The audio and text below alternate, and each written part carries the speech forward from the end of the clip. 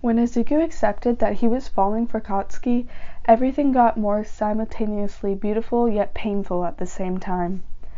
But isn't that what falling in love is like? Izuku thinks to himself. A beautiful kind of pain? One that crushes the air within his lungs, turns his stomach, and threatens to stab holes into his heart?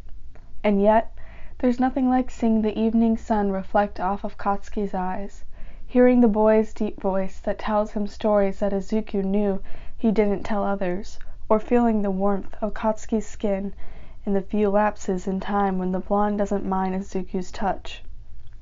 Whether it be taking something out of the athlete's hair, to wrapping Katsuki's fingers in athletic tape for him, to pulling him by the hand to go somewhere, Izuku feels almost pathetic for allowing the slightest touch to linger within his fingertips for hours. If he could help it, he would. And it wasn't as if Izuku was not trying. He most definitely was. But effort seemed fruitless when it felt like Katsuki was a black hole and Izuku's path was bound to get sucked in. The night that Katsuki had shown up on his front lawn to give him the dance he had never got to experience was also the same night he accepted the inevitability of it all. And it was also when Izuku understood that this was going to end in heartbreak and destruction. After all, this was a one sided affair, and he had the wrong end of the deal. Deku? The deep voice coming in from the other side of the phone interrupted Izuku's morning sleep. In a state of tired daze, he had picked up the phone around five in the morning upon seeing contact pop up on it. Izuku thought it was odd, considering that the blonde had never called at this time. Izuku's eyes were practically glued shut, but he forced himself up on his elbows and put put the speaker put the phone on the speaker. Kacchan, what's going on? It's five in the morning. I'm aware.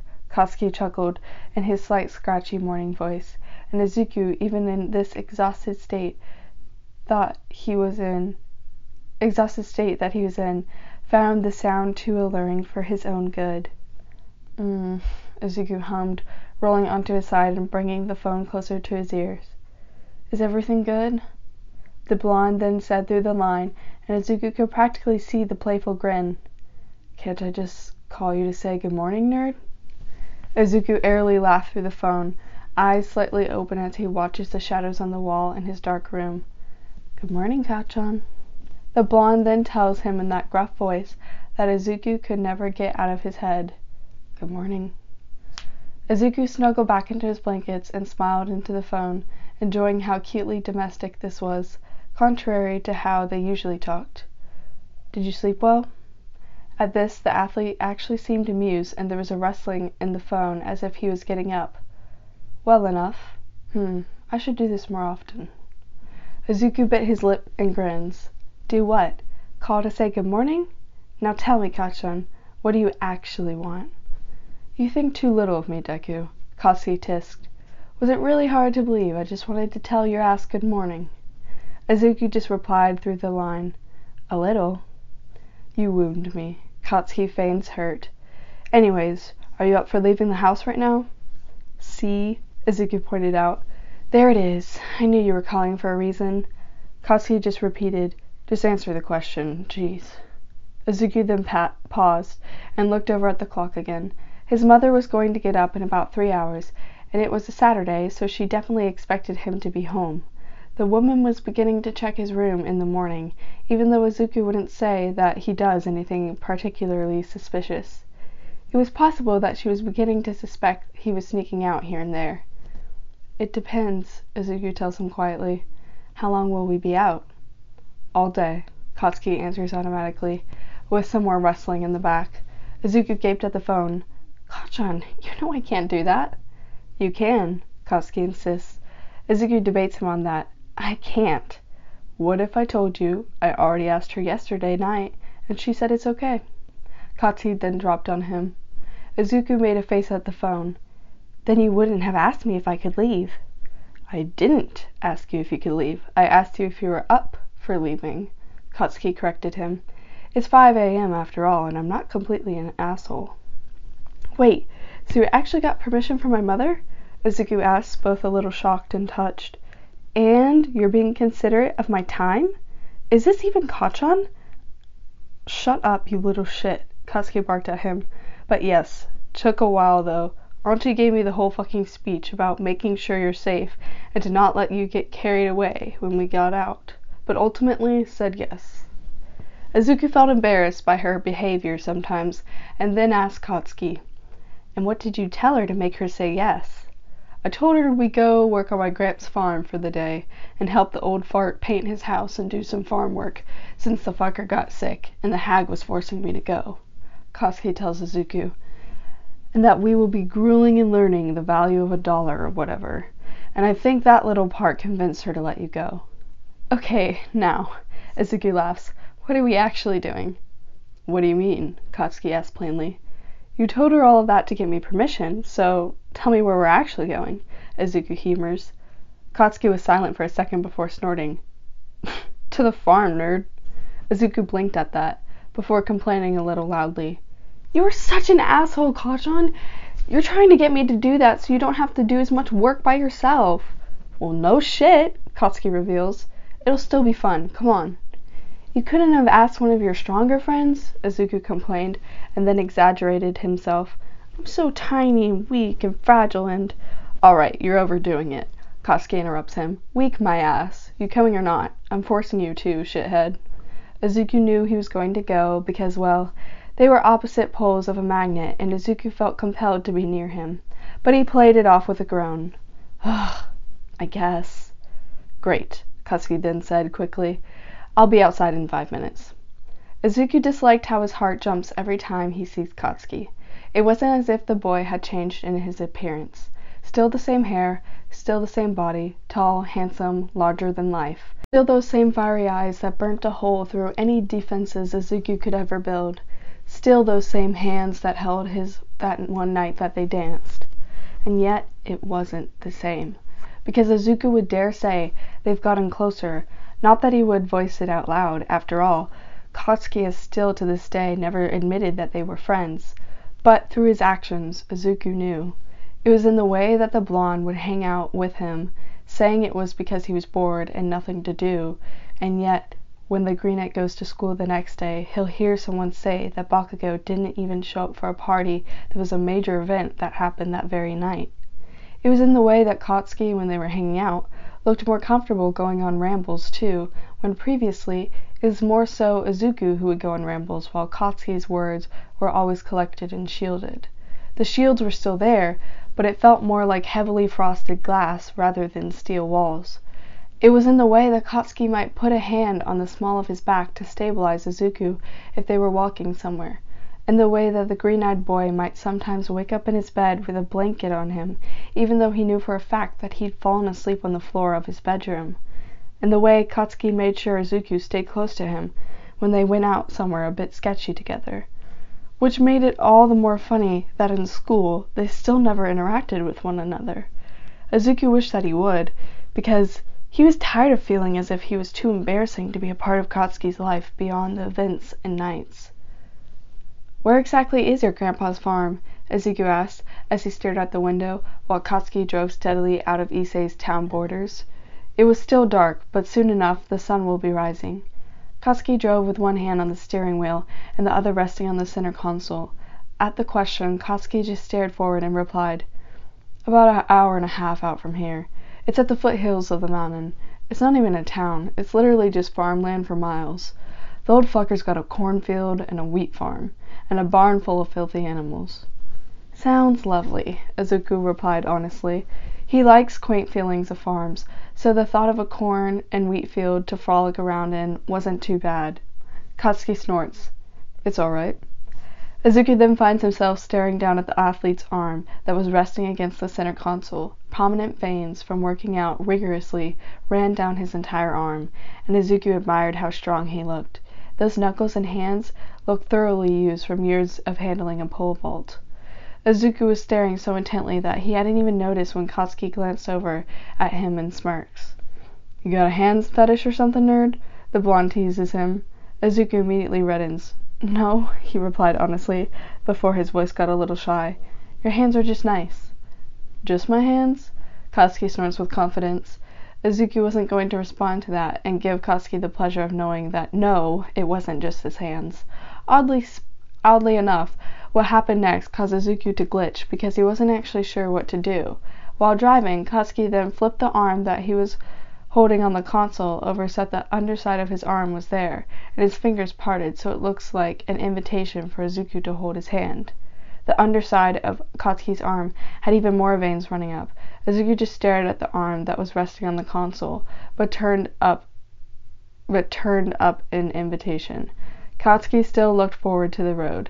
Izuku was sitting sideways anyways, knees pulled up slightly onto the seat, body facing the other. When Izuku didn't make any move, the athlete glanced over the greenette with a raised brow. Go ahead, Katsuki tells him. If you want to admire, now's the time. Izuku blinked up at him staring at Katsuki's sharp profile as the blond goes back to looking at the road. He wasn't exactly sure what caused the other to invite Izuku's touch, but the greenette found himself automatically taking up on the offer. Reaching out, Izuku slowly let his hands touch Katsuki's palm, and softly his fingers glided around the calloused hands, admiring the physical proof of years and years of hard work on the track field. Izuku felt the urge to interlock their fingers, and the thought made his chest flutter a bit before he could stop himself, he aligned their hands, liking the way Katsuki's larger ones encompassed his own. He didn't intertwine them, but he practically did the next closest thing. If Katsuki minded, he didn't say anything. Wordlessly, Izuku then used a few fingers to slightly trace over the athlete's wrist and down his underarm, following the prominent forearm veins, enjoying how firm everything about Katsuki was. From the driver's seat, Izuku could feel Katsuki shift, and he paused immediately. With wide eyes, Izuku spoke. Uh, "I'm sorry. I didn't mean to "Don't stop," Katsuki tells him, and Izuku wasn't sure whether to be shocked or delighted. It was in times like this, where Izuku senses that the blonde, like most people, occasionally wants more gentle touches, but unlike everyone else, he was never going to ask for it. And so, for the rest of the car ride, Izuku continues to place his hands on top of Katsuki and the habitual and habitually placed and habitually placed gentle touches here and there, and the both of them ignored how intimate a moment like this actually was. Instead, they masked it with casual conversation about anything that came up on their mind, anything to distract from the fact that Katsuki was allowing himself to be touched like a lover. When they got to the farm, it was exactly as Izuku had imagined in his head, except maybe a little more beautiful. Like Katsuki mentioned, it was at the foothills of a mountain, and on either side of a two-story home with a traditional wrap-around porch was green grass that was growing a little wildly, but it had its charm. Across the dirt road from the house was where the farmland started. Immediately they see an expanse of cornfield that went above their heads, about eight feet tall, and not yet ripe. Apparently the wheat farm was beyond that, but it was not in sight from their vantage point. Katsuki pulled into the house side, and his tires crunched under the dirt and gravel road. It was now light enough outside, since the sun finally erupted from below the horizon, and the early morning light casted a beautiful pinkish orange onto the cream colored house. Climbing out of the car, Katsuki pocketed the keys and led his way up to the, led him his way up to the porch stairs and rung the doorbell. Izuku felt the porch stairs creak underneath his feet, and saw someone some of the paint chipped off. Izuku stood behind the taller man and admired the quietness of the home. The nearest neighbor was probably about two miles away from here on the countryside. A few moments later the door opened to reveal a tall but frail looking man with the same red eyes Katsuki had, yet they were warm and round, rather than sharp and blazing. The lines around his mouth were signs of much smiling during his younger years, as well as the crow's feet around the elderly man's eyes. Upon seeing Katsuki, his grandfather broke into a smile and walked forward to the boy for a hug. Katsuki glanced down at the ground before stepping in awkwardly to give the man a pat on the back. Izuku found the interaction odd, as was most interactions Katsuki has had that required a bit of intimacy. It always looked a bit uncomfortable for the taller boy, even if it was his grandfather or whoever else. "Katsuki," the old man exclaims with a raspier voice, "it's nice to see you." Katsuki nodded to the man. "You too, Gramps. And I see you've brought a friend." His grandfather tilted his head to the side to take a look at Izuku. Oh yeah, Katsuki gestured to the greenette. This is and then the athlete paused in his words. Izuku stared up at him, catching Katsuki's eyes, wondering what was the hold up. And he wanted to internally laugh, seeing Katsuki struggle with how to introduce Izuku in a way that wouldn't get him berated for the nickname Deku. Izuku took pity on him, and was about to pipe up and introduce himself to Katsuki's grandfather, when the blonde finished the introduction himself. Izuku. Midoriya Izuku. Katsuki then finished, voice careful but sure and Izuku felt his breath hitch as he immediately turned to Katsuki, but the blonde wasn't looking at him. It's been a while since Izuku has accepted that he will never hear the name on the blonde's lips ever again. Therefore, he could barely believe his ears this time. It happened too fast. Izuku wanted to replay the moment, to hear his name roll off that sweet tongue again. Katsuki treated it like nothing, but the greenette knew that Katsuki understood what had just happened was simply not normal. Midoriya. His grandfather comes in to give Izuku a hug. You must be Mitsuki's friend. Friend's son. Inko, was it? Izuku nodded with his head and a bright smile. Yeah, that's my mom. It's nice nice to meet you, sir. Likewise. The old man gave him a toothy smile. Katsuki never brought a friend to meet me before. You must be special. Not really. Izuku laughed and elbowed Katsuki. He just didn't want to do all the work himself. His grandfather disagreed. Then you must be even more special than I thought. Katsuki here doesn't like to have people help him with anything. The old man reaches out to pat Katsuki's shoulder. Katsuki shrugged him off and brushed his way inside the home. I'm right fucking here, Gramps. I'm aware, Katsuki. His grandfather turned his head to holler back, then turned to Izuku with a wink and a finger to his lips. Don't mind the brat. His way of showing affection is a bit unorthodox.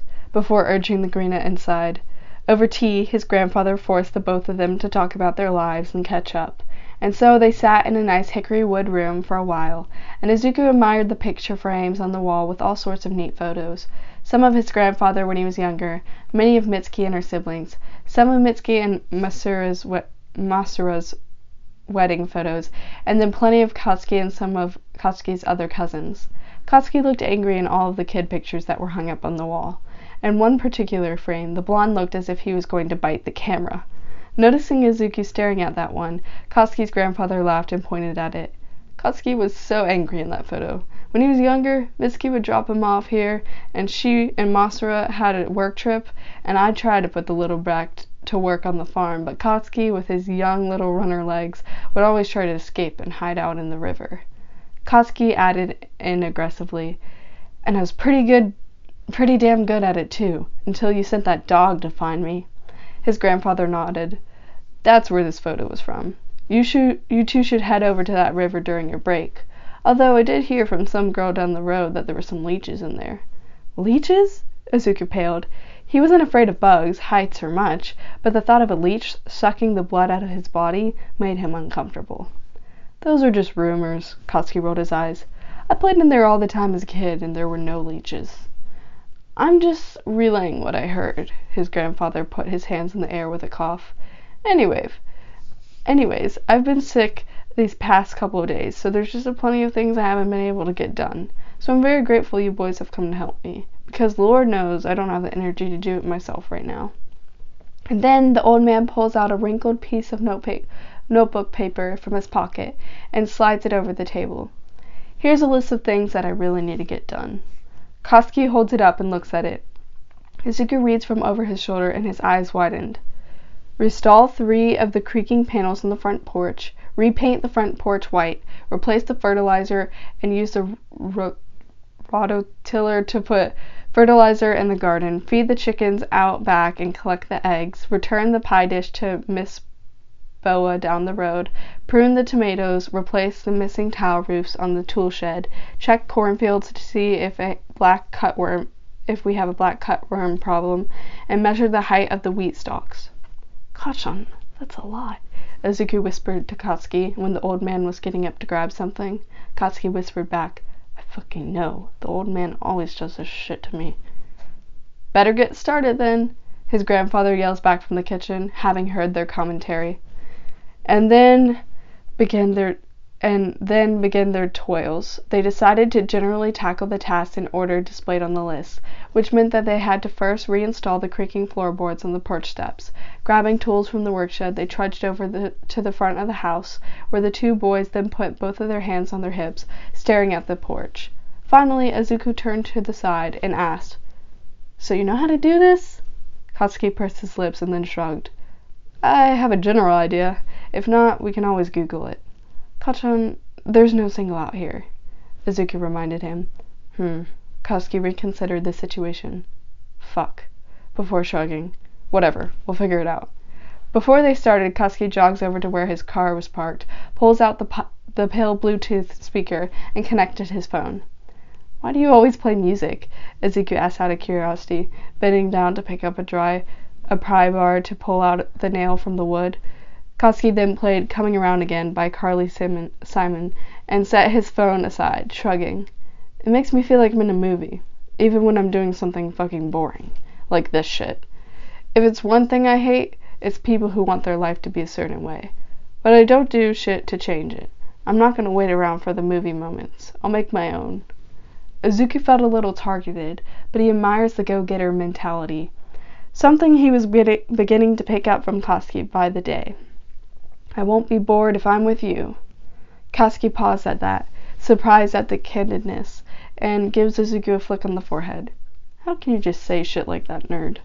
Izuku smiles cheekily at Katsuki as he begins to pry nails from the porch and laughs. Unlike you, Kacchan, I'm not afraid of expressing my emotions. Oddly enough, Katsuki gives him a funny look, as if he knew something Izuku didn't, and then replies, Yeah, sure you are. Izuku gave him a confused expression, but shrugged to himself when Katsuki didn't seem to want to offer up an explanation. To think that there was a time when this was unfathomable makes Izuku wonder again what all went wrong. He knew that one day, out of the blue, Katsuki stopped talking to him.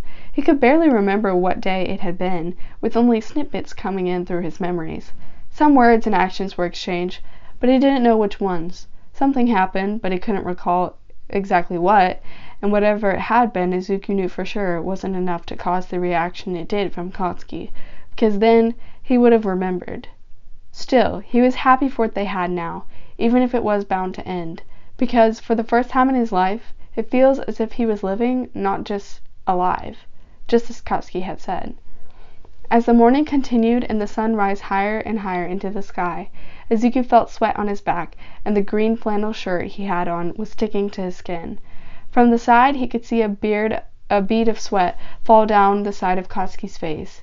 It had taken them about an hour and a half to take the porch steps and reinstall the new wood, and then another hour to completely repaint it white.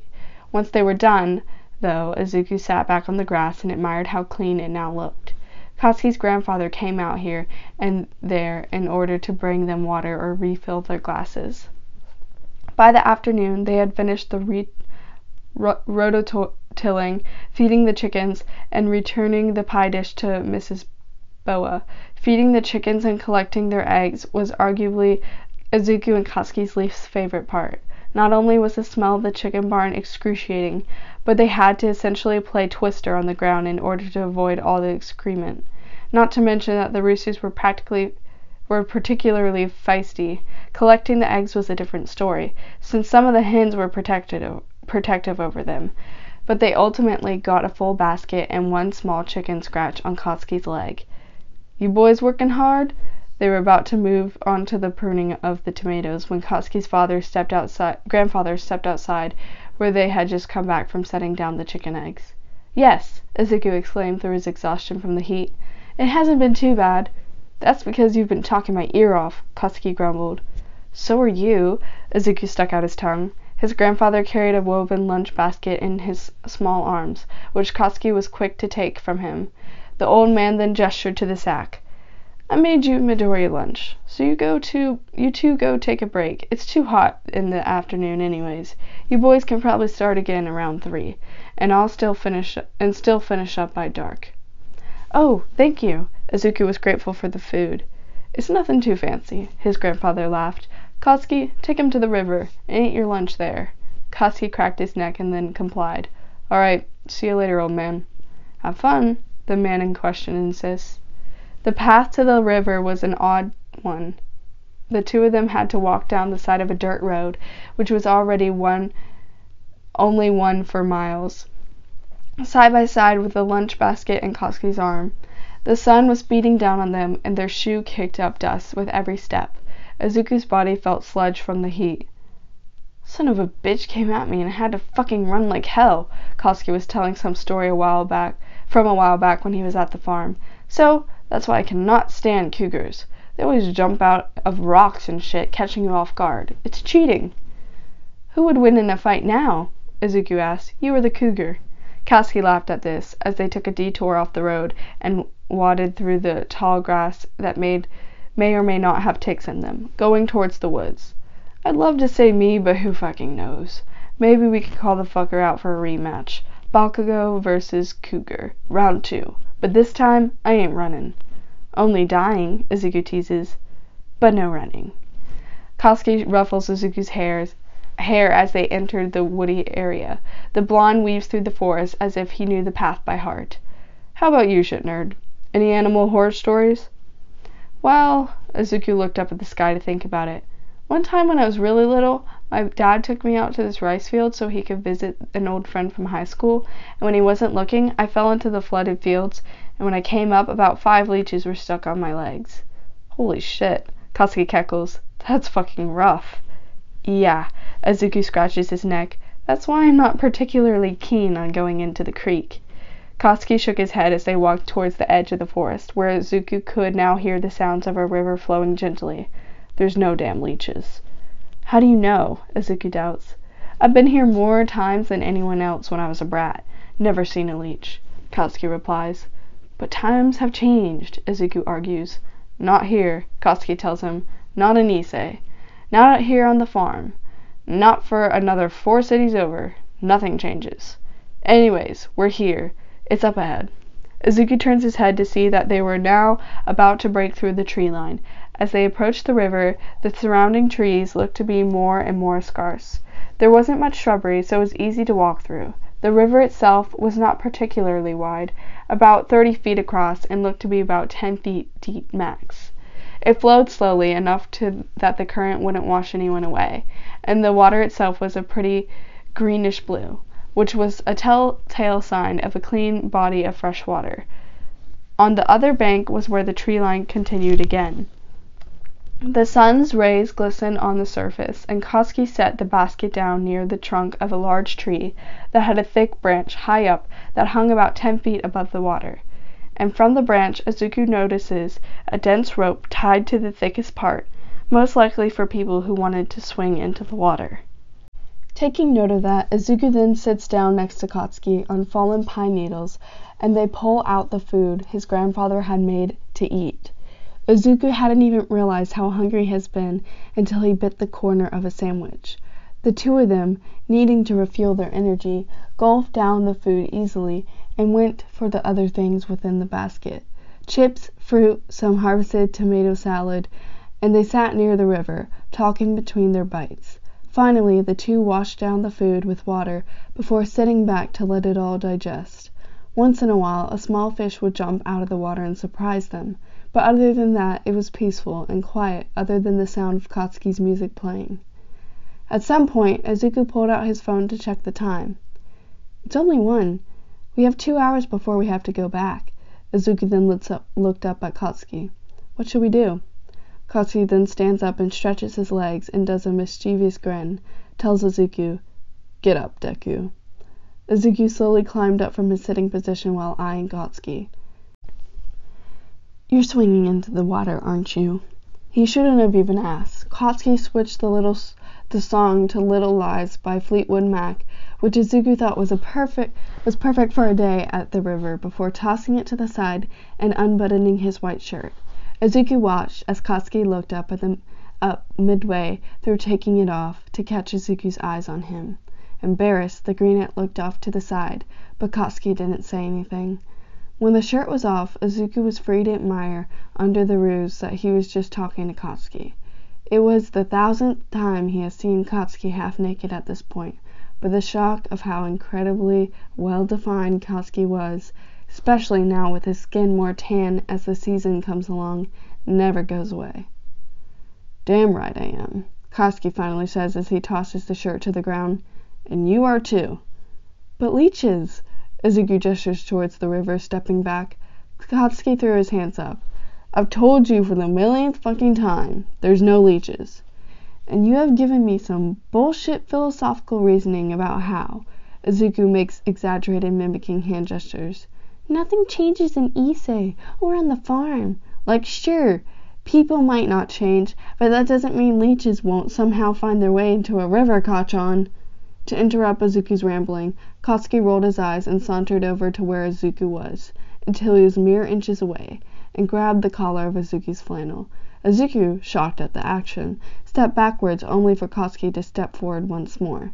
And then the blonde began to unbutton the top of Izuku's shirt, eyes trained on the buttons. You're getting in. Izuku's cheeks flared up, and their proximity and Katsuki's hands undoing his shirt throws him off guard. He stares up at Katsuki as those rough fingers move his move down his chest. If there are leeches, I'll pay for your therapy. Katsuki makes a deal and undoes the last button. Izuku just lets the flannel slip off his shoulder, and that's when Katsuki meets his eyes, looking down at the greenette with barely inches between them. Izuku hasn't said anything the entire time. It would be easy to reach up and meet halfway. So easy. And yet neither of them do it. The fuck isn't, nerd? Katsuki breaks the silence before stepping back, giving Izuku room to breathe. Izuku opened his mouth before closing it, and opening it again, saying with a slight laugh, You have a habit of taking off my clothes, Kacchan. Katsuki thinks about it, pausing for a moment to tongue his cheek, and looked at a rock as if recalling if this was true. The kick-off, the lake party, and just now. Before switching his gaze over to Izuku. Seems like I do. You uncomfortable or something?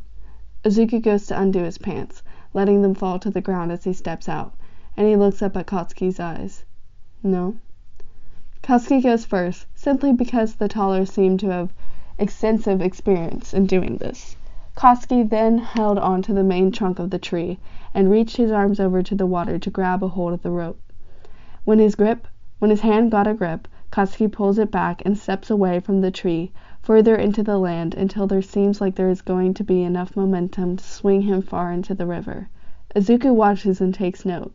And then, grabbing on with both arms and securing himself, Katsuki then runs forward and right as he meets the border between the edge and where the river begins, the athlete tucks his feet in and around the rope, swinging forward and at the maximum point in the boy's trajectory with a loud holler, Katsuki lets go and flies into the water with a loud splash, and Izuku laughs at the beautiful moment, and Katsuki gets up.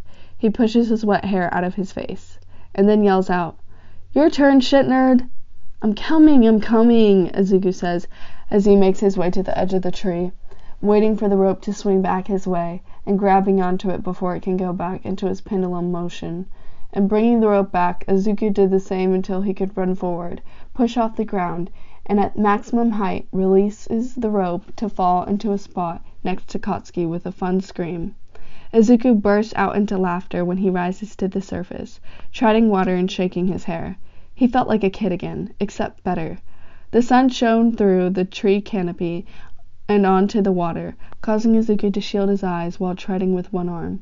The water wasn't even that cold. Izuku nudges the other from under the water. So? Izuku slyly looks over to the blonde and jokes. It might be worth the leeches. Might? Katsuki chuckles. What can I do to make it fully worth it? The blonde asks as he swims a bit closer. Izuku meets him halfway and pretends to think on it. You tell me, Kacchan.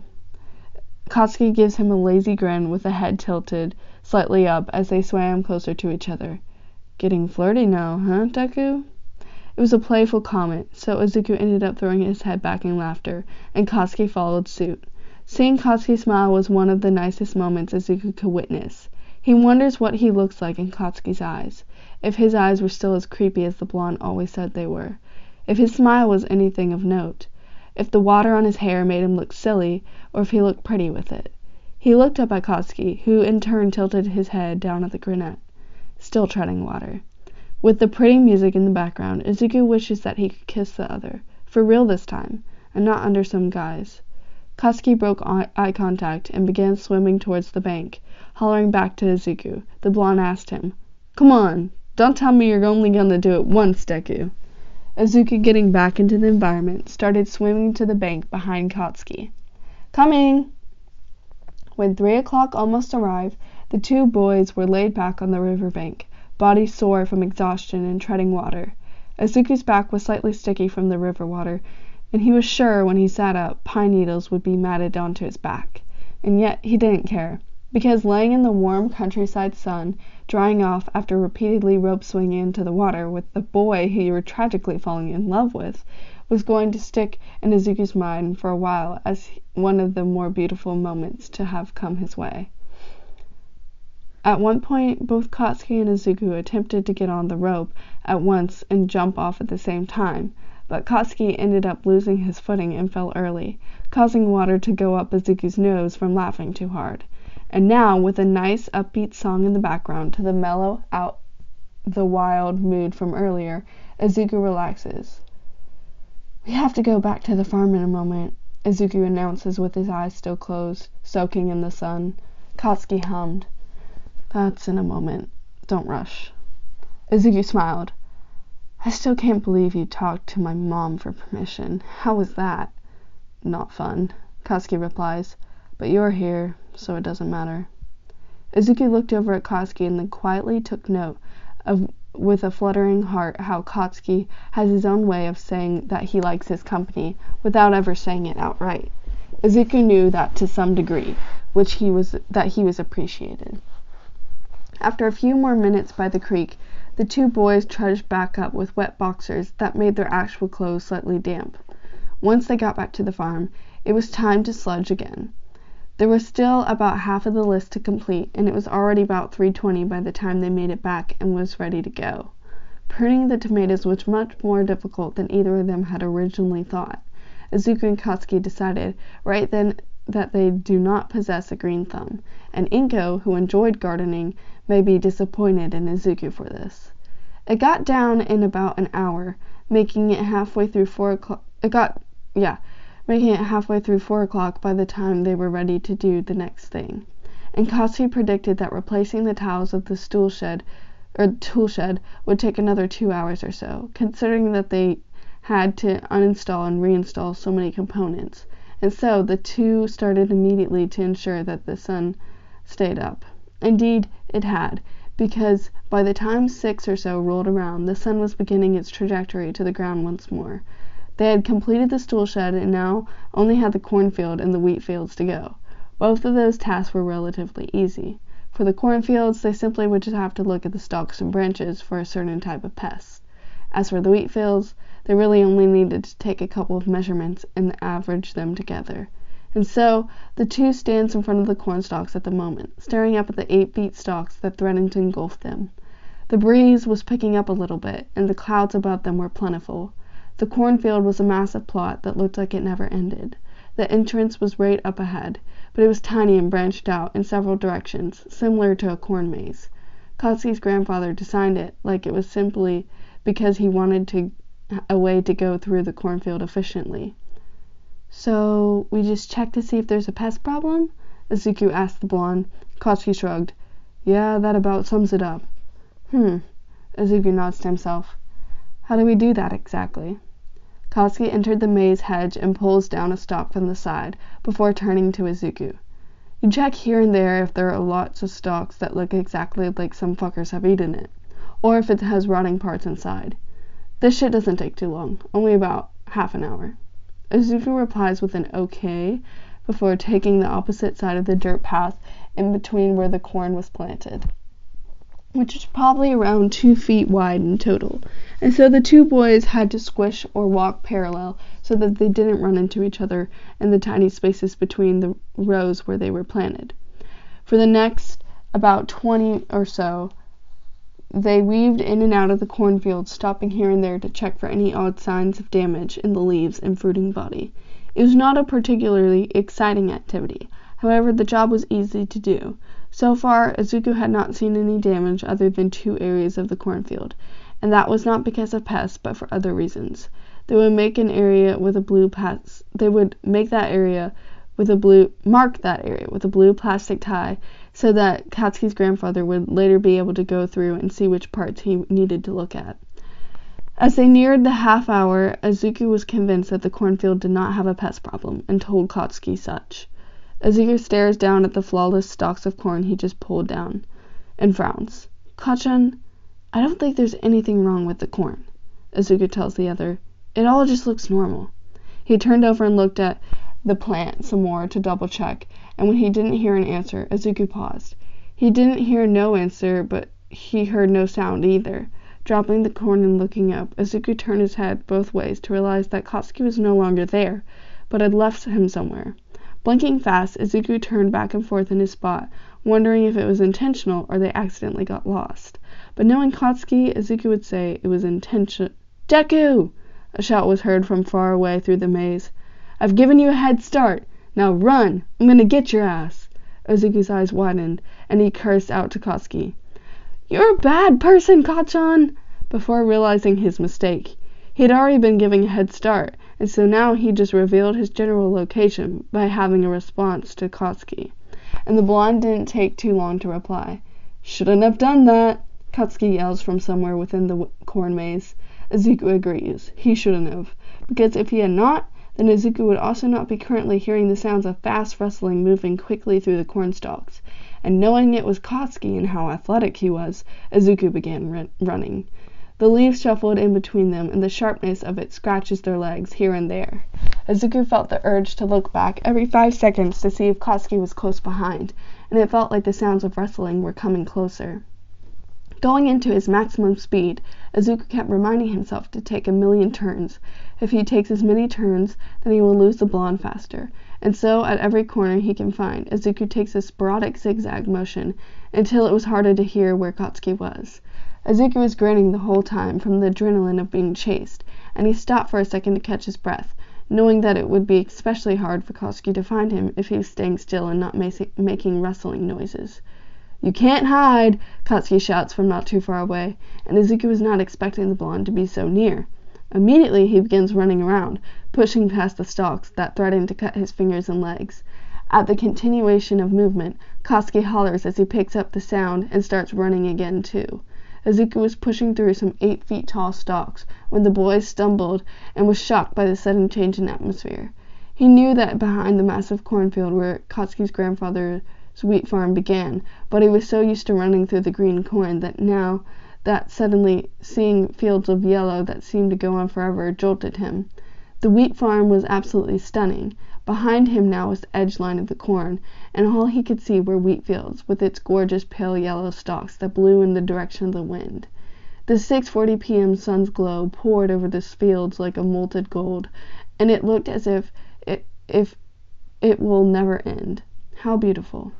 Izuku's breath was taken, and he put his hands on his knees to rest while breathing heavily. However, suddenly, from about twenty feet to his left, a Katsuki pops out from the cornfields and comes face to face with the wheat fields as well. But unlike Izuku who stops to stare at the sight, Katsuki ran straight towards the shorter, shorter male, who was taken so off guard that he lost focus, allowing himself to be caught. "I got you, shit nerd!" Katsuki laughed out loud as he ran towards the greenette. Then, to Izuku's surprise, Katsuki tackles him by picking him up by the waist, lifting him up and spinning him around in the air. The gentle breeze blew pieces of green hair across his forehead as he spun around in two circles, and Izuku laughed with his head tilted back. He lifted his arms to catch the breeze here up high, and everything was too stunning. Izuku then wrapped his eh, legs around Katsuki's waist and put his arms around the blonde's shoulders. For stability, Katsuki moved his arms from the boy's waist to the bottom of his thighs, and Izuku could not help but feel as if their position was a little more intimate. Maybe for Katsuki it wasn't anything, but to Izuku his heart was racing faster being held up like this. He tilted his head down to look at Katsuki, who shifted his gaze from the golden fields up to Izuku. From Katsuki's pocket the pale speaker was playing these Dreams, and Izuku finds himself relating to the lyrics too much. No matter what he tried to do, the athlete will show up in his dreams, and within his slumber the athlete holds him just like this, touches him just like this. The golden sun of Ise illuminates his face just like this. Lost in a trance, not breaking eye contact with Katsuki, Izuku forgets that he was not in one of his dreams, and he shouldn't do what he was about to do. And yet he did anyways. Izuku brings a hand up from Katsuki's shoulder to carefully place on the side of the blonde's face, startling the other. Izuku's eyes looked at him with a curious gaze, wondering how someone could steal his breath away like this. As his palm caresses Katsuki's face, the rough skin met his fingertips with warmth and Katsuki looked as if he was waiting to see what Izuku was going to do. Izuku brought their foreheads together, just leaning gently against Katsuki's temple, and with a breathy voice the brunette asked the other, "Say it again." Katsuki raised a brow. "Say what?"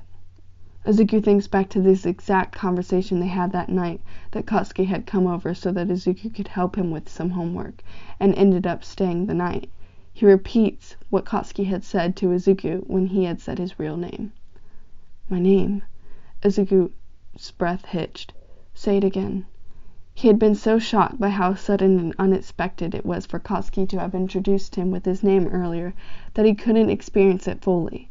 It's been a long time since Katsuki had called him Deku in a malicious way, but that didn't mean Izuku on the blonde's lips was on the blonde's tongue excited him any less. The blonde searched through his eyes for a reason, and was silent for a moment. Izuku's hands were still on the other's face, and Katsuki then said in his usual gruff voice, "Izuku." The athlete calls out to him. The boy in question could cry right now, but he holds it back in favor of smiling ridiculously wide eyes wide that his eyes looked like crescents and his teeth stretched wide. Izuku's or Katsuki's expression widens at this for a second, before it goes back into a neutral and observant face. This time hearing it, Izuku felt as if he could fully enjoy it. The wind was picking up a bit, and Katsuki used an arm to reach up and take Izuku's hand off his face. The action reminded Izuku that he had definitely done something Katsuki didn't particularly like. The athlete didn't do gentle. And then Katsuki settled him down on the ground again in front of him, and Izuku's neck tilted up to the taller boy. Katsuki stares up at the sky. The clouds were moving quickly, and Izuku's flannel flapped in the breeze a bit. "The winds are coming from the east," Katsuki announced, while observing the sky. "They're gonna get pretty fucking strong." Izuku frowned. "What will that mean?" Katsuki then looks down at Izuku, their height difference prominent, and Izuku sees the background of the sky moving behind him. The blonde's hair is flowing gently, and his dark eyes stare at him. Katsuki then answers him. "It means a storm's coming." The signs of a storm coming became more and more prominent as the next week and a half moves by. Sometimes Izuku would stop in his steps on the way to school and enjoy the strong but warm breeze hitting his body, and if no one was around he'd spread his arms wide and feel it fully. As Izuku has thought about before, Ise was static. The people, the motion of the ocean, and even the weather was static. The golden sunsets were beautiful, but they were rarely ever changing. It gets to the point where he wishes for the occasional rain, which for him was a symbol of change. It reminded him that Ise wasn't just a computer generated town abandoned by its creator in a perfect state with its perfect sunsets, perfect location, perfect people, and perfect weather. And so he waits in participation for the first drop to fall. On Monday it does not come. The breeze was still there. However, the sky's appearance was as sunny and beautiful as it always was. After school had ended Izuku was watching Katsuki at the field with his teammates from outside of the chain link fence. Katsuki today was focused more on helping coach the others as the captain of the pole vault team for obvious reasons, and Izuku admired seeing how Katsuki coached the others. He was not a kind or an easy teacher. He didn't give baseless praise, but what he but he, what he was is effective. His advice was catered to each of his teammates' personal styles, which Katsuki had been observing under the radar for years. Just before he was about to leave, a fluffy head of brunette hair bounced towards him, and within a couple of seconds Izuku looked up to see Kaido Sen standing on the other side of the gate, grinning down at him. "Midoriya," the brunette called out to him, "it's a beautiful day to see a beautiful person, isn't it?" Izuku rolled his eyes with a smile. "You really like to throw out compliments, don't you?" Kaido shrugged. I'm just shooting my shot. Anyways, are you free tomorrow night? Izuku thinks about it. He's been on two other dates with Kaido since the first one, and they had gone to the movie theater and then a park another time. It was nice, and had the same vibe as it did before sweet and safe. Izuku felt bad because he knew that he wanted someone else, but still, the hope that maybe another person who would want him back could sweep him sweep him off of his feet and make him agree to a few more dates with Kaido. Izuku learns a couple of things about Kaido. First, the brunette didn't really like spontaneous things, and would prefer if dates were planned out. Izuku was sure that Kaido had romanticized had a romanticized image of things in his head before it happens, and wanted it to play out exactly how he plans it. Which is fine, since it ends up being fun. Secondly, Kaido enjoys certain parts of Izuku and not so much other parts. Kaido liked Izuku's face, the fact that Izuku was smart and involved in a lot of clubs the way Izuku talked, and he liked Izuku's happy personality. But from what the Greenette noticed, Kaido didn't so much enjoy Izuku's strength, and it surprised him here and there when Kaido wanted to help him with something, just to find out Izuku could do it himself, carrying heavy things and the like. Kaido also didn't seem to like doing th- what he considers to be slightly childish. No sneaking into places, no pushing each other in shopping carts around a parking lot, none of the sort.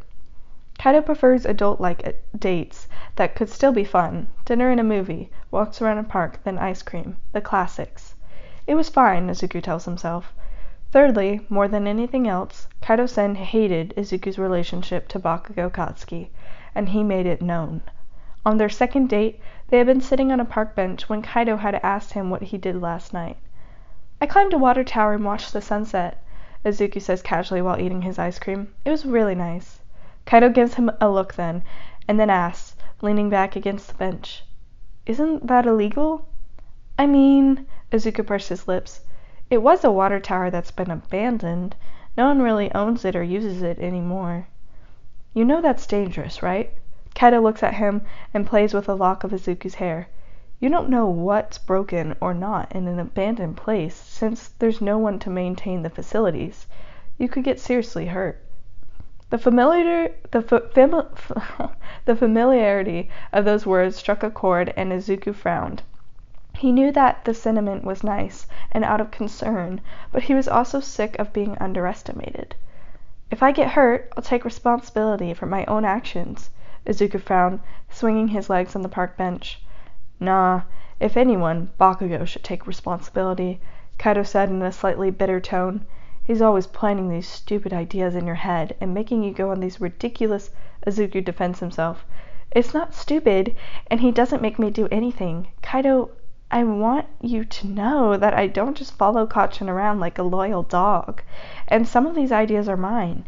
He's not the nicest person, but if there's something I don't want to do, he won't even think about it. He knows my capabilities. Kaido looked at him, then pursed his lips, glancing down at the ground. Sorry, I just get a little jealous. You're with him all the time." "Jealous? Don't we all?" Izuku thinks to himself, but just elbows the other. "We're project partners." Kaido then looked at him as if he was stupid. "Just project partners? Midoriya, we both know very well you two hang out much more than what's required." Izuku looked down at his lap. "Kaido, me and Kacchan's partnership is not any of your business he said, wanting to end the conversation. "It is if I want you to be my boyfriend." Kaido turns to him then.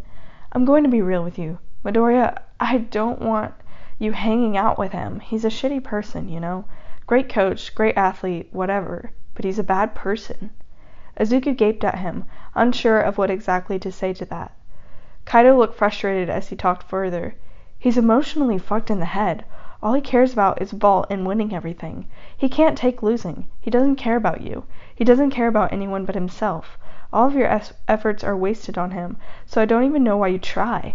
If you were my boyfriend, I wouldn't want you to hang out with someone like that." Izuku blinked up at Kaido. There's a moment of silence before he looks off to the side. "That's why I'm not your boyfriend." "Yet," Kaido said, unfazed, and went back to a more charming version of himself. You'll come around." The conversation that day had ended there, and left Izuku with an uncomfortable feeling in his stomach, at both the slander at Katsuki, but also his views on Kaido. It was obvious that the boy was speaking out of jealousy, he knew that much, but Izuku knew that he and Katsuki weren't anything like that. Besides, even if he was Kaido's boyfriend, that still gave him no right to treat Izuku as if he owned him, or to police who he can or cannot be friends with. He had enough policing in his life. And so, back to the moment, Kaido was standing on the other side of the fence, and Izuku thought back to that conversation during their last time hanging out. Smiling up at the athlete, Izuku shrugged. I'm not sure. Well, Kaido says then, if you're free, I'd like to take you to an art museum or something. Izuku is curious. There's no art museums near here. It's about a couple of hours away in a bigger city, Kaido explains.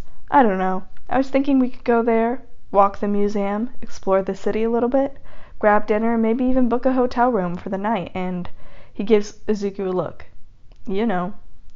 Izuku knew all right. Kaido wasn't exactly shy about wanting him in that kind of intimate way, and although they've made out, usually at the end of their dates, or played with each other's bodies for a little bit, Izuku has never thought of going all the way with Kaido. When Izuku thinks of his first time, he can't help but have an unrealistic image of someone who would never want him like that. And so, considering what Kaido was hinting at now, Izuku couldn't help but not feel entirely interested. Kaido continued. Your parents would let you go, right? Izuku wanted to laugh a bit. He said it so automatically that Izuku wonders if Kaido really knew him at all. If he really knew Izuku, he wouldn't have to ask such a question. It's just me and my mom, actually, Izuku corrected, and she definitely won't let me. Oh, my bad. Kaido looked apologetic. Well, I'm pretty busy the next week after tomorrow, but I could at least take you out for, to the county fair on next Wednesday. Ah, the county fair. Izuku forgot that that happened annually. He was usually allowed to go to the county fair as long as he got back early enough. It was just a big carnival and a fair event that happened on Ise Fairgrounds, and there was always good music, good food, and lots of cool rides that he probably was too old for. Thinking about it, Izuku tells Kaido, Sure, but I'll have to leave early. It's no problem. The athlete grinned. It's a date then. From behind Kaido, Izuku heard an all too familiar voice calling out to Kaido. No, it's fucking practice. Get your ass back to the pit. If I find you distracted again, I'll get you doing ten fucking laps with weighted vests. Izuku watched the blonde come up, as, as if out of reflex, wanted to go up to Katsuki and strike up a conversation, dragging the other somewhere. And then he remembers. This was the big shot Katsuki, the celebrity athlete Katsuki the one who says the minimum to him in school. Kaido huffed out some air, and turned to Katsuki. So you can come over here whenever you want, but the moment I do it for ten seconds, you're going to be like that Bakugo? Katsuki stepped up a bit, and the difference in build and power between Katsuki and Kaido was very clear. Katsuki had four inches on him, more, muscul- more muscle, a bulkier build, more of everything all around. To be fair, Kaido was a very toned, athletic, and big person, just not in comparison. And then the blonde athlete spoke near his teammate. Ask me that again when you're a three time national youth champion. When your tournament record is 17 6. When your personal record is 17 10. And never lost a fucking tournament in your life, fuckface. Kaido was silent, because Katsuki was right. And the blonde knew it because he sauntered forward with a nasty grin. That's right. Now get back into the pit. Get back into the pit and run your record. We're getting you to next inch by Friday. Kaido breathed out before stating a quick, Yes, Captain, and jogged off to the track field. That left the two of them, Izuku and Katsuki, standing there now with a slight air of awkwardness that usually wasn't there these days. Izuku made eye contact then with Katsuki with, for a split second, to find the blonde's expression unreadable, his body language not revealing anything, and Katsuki says nothing either, before he turns and jogs back to the practice pit as well. Odd, Izuku thought to himself. Odd indeed. Kacchan, do you like Ise? Izuku asked. As of current, it was a slow moving Tuesday evening, and Izuku had his head laid back on an empty pit. Katsuki, after Katsuki, after practice had ended, had stolen Izuku off to go to the stadium where the next regionals tournament will be held. At the moment it was completely empty, and Katsuki had to climb over a metal gate in order to get it unlocked and unlock it from the other side. However, when they made it inside the empty stadium it left Izuku in awe. The outdoor stadium was about an hour or so from Ise, which wasn't too bad considering that it was a big tournament. It was a stage both Katsuki and Izuku had been to before. After all, the blonde competes every year, and the brunette watches every year. However, seeing it void of people gave off a completely different aura. Izuku was used to large crowds, boisterous activity, and blaring speakers everywhere. Seeing the stadium empty, quiet, and missing any sort of activity made the place made the place seem humongous. The stands were plentiful, and the track field looked larger than average. Even the pole vault pit seemed enormous, so much that Izuku couldn't fathom how Katsuki could fly as high as he did. The athlete hadn't taken him there to practice or anything. They had simply been driving with no actual destination in mind, just enjoying the conversation and the company over good music on the radio, when Katsuki swerved to pull in, into here. And here they were, an hour later, exploring the stadium and pretending that they were the king of the world shouting to each other from the tallest bleachers across the stadium, and they were now simply laying on a landing zone of the pole vault pit, staring up at the open sky, heads nearly touching. Izuku watches the clouds move, and the classic golden Ise sun reflects off of it. In his right hand was an empty bottle of some carbonated yogurt drink, and on his left was snacking on some salmon roe onigiri. The wind was a little bit more mild today. Crows perched itself on top of the pole vault bar, calling, at, calling to each other, and they'd heard the occasional sound of a car zoom by from outside of the stadium on the quiet highway. Katsuki raises a brow at the question. Why are you asking, nerd? Izuku gently elbows Katsuki in the side. I don't understand why you can't just answer my questions easily, Kacchan. Katsuki snorts. Who would I be if I made it easy for you? A better person. Izuku rolls his eyes with a grin. But he thinks about it. He's always thought this about Katsuki, but never found a way to tell the other. It wasn't like any of their more light-hearted conversations or intense but enjoyable debates or a random tangent that they go on. This struck a little deeper. Izuku softly says then, I feel like you were born and raised in a town too small for you to spread out your wings. Like you've always been meant to be far away from here. Far, far away. Izuku reaches his hands to trace the clouds in the sky. Somewhere bigger and better than what Ise and our quiet streets could offer you. Better than what I could ever offer you, Izuku thought, but didn't say. Katsuki was quiet for a moment, seemingly contemplating Izuku's words. Izuku found this to be rather thoughtful, and implied to him that the blonde was taking his statement with seriousness, rather than teasing playfulness. I'm right where I need to be, Katsuki cryptically said. Caterpillars are stuck in their cocoons before they become butterflies, but those cocoons are necessary. They provide protection, warmth, a place to grow, but at some point you gotta break out and explore the world and shit, you know? Can't stay there forever. Izuku turns his head slightly to Katsuki, who was still looking up at the sky. You're a nerd too, you know. That just proved it. Katsuki threw a protein bar wrapper at Izuku. Shut it. I didn't know you could be so philosophical. Izuku laughed lightly. Hmm, so Ise's your cocoon and you're the caterpillar? Nah, Katsuki answers. It's not just me. Ise's your cocoon too. It's time to break out, nerd. Where are you going to college? Izuku finds it funny that in all their time together the subject of university has never come up. He thinks it's because there's no point in asking about the other, or about Izuku at least. After all, they wouldn't be associating come the end of the semester. The thought terrified the greenette, and so he avoids it whenever possible.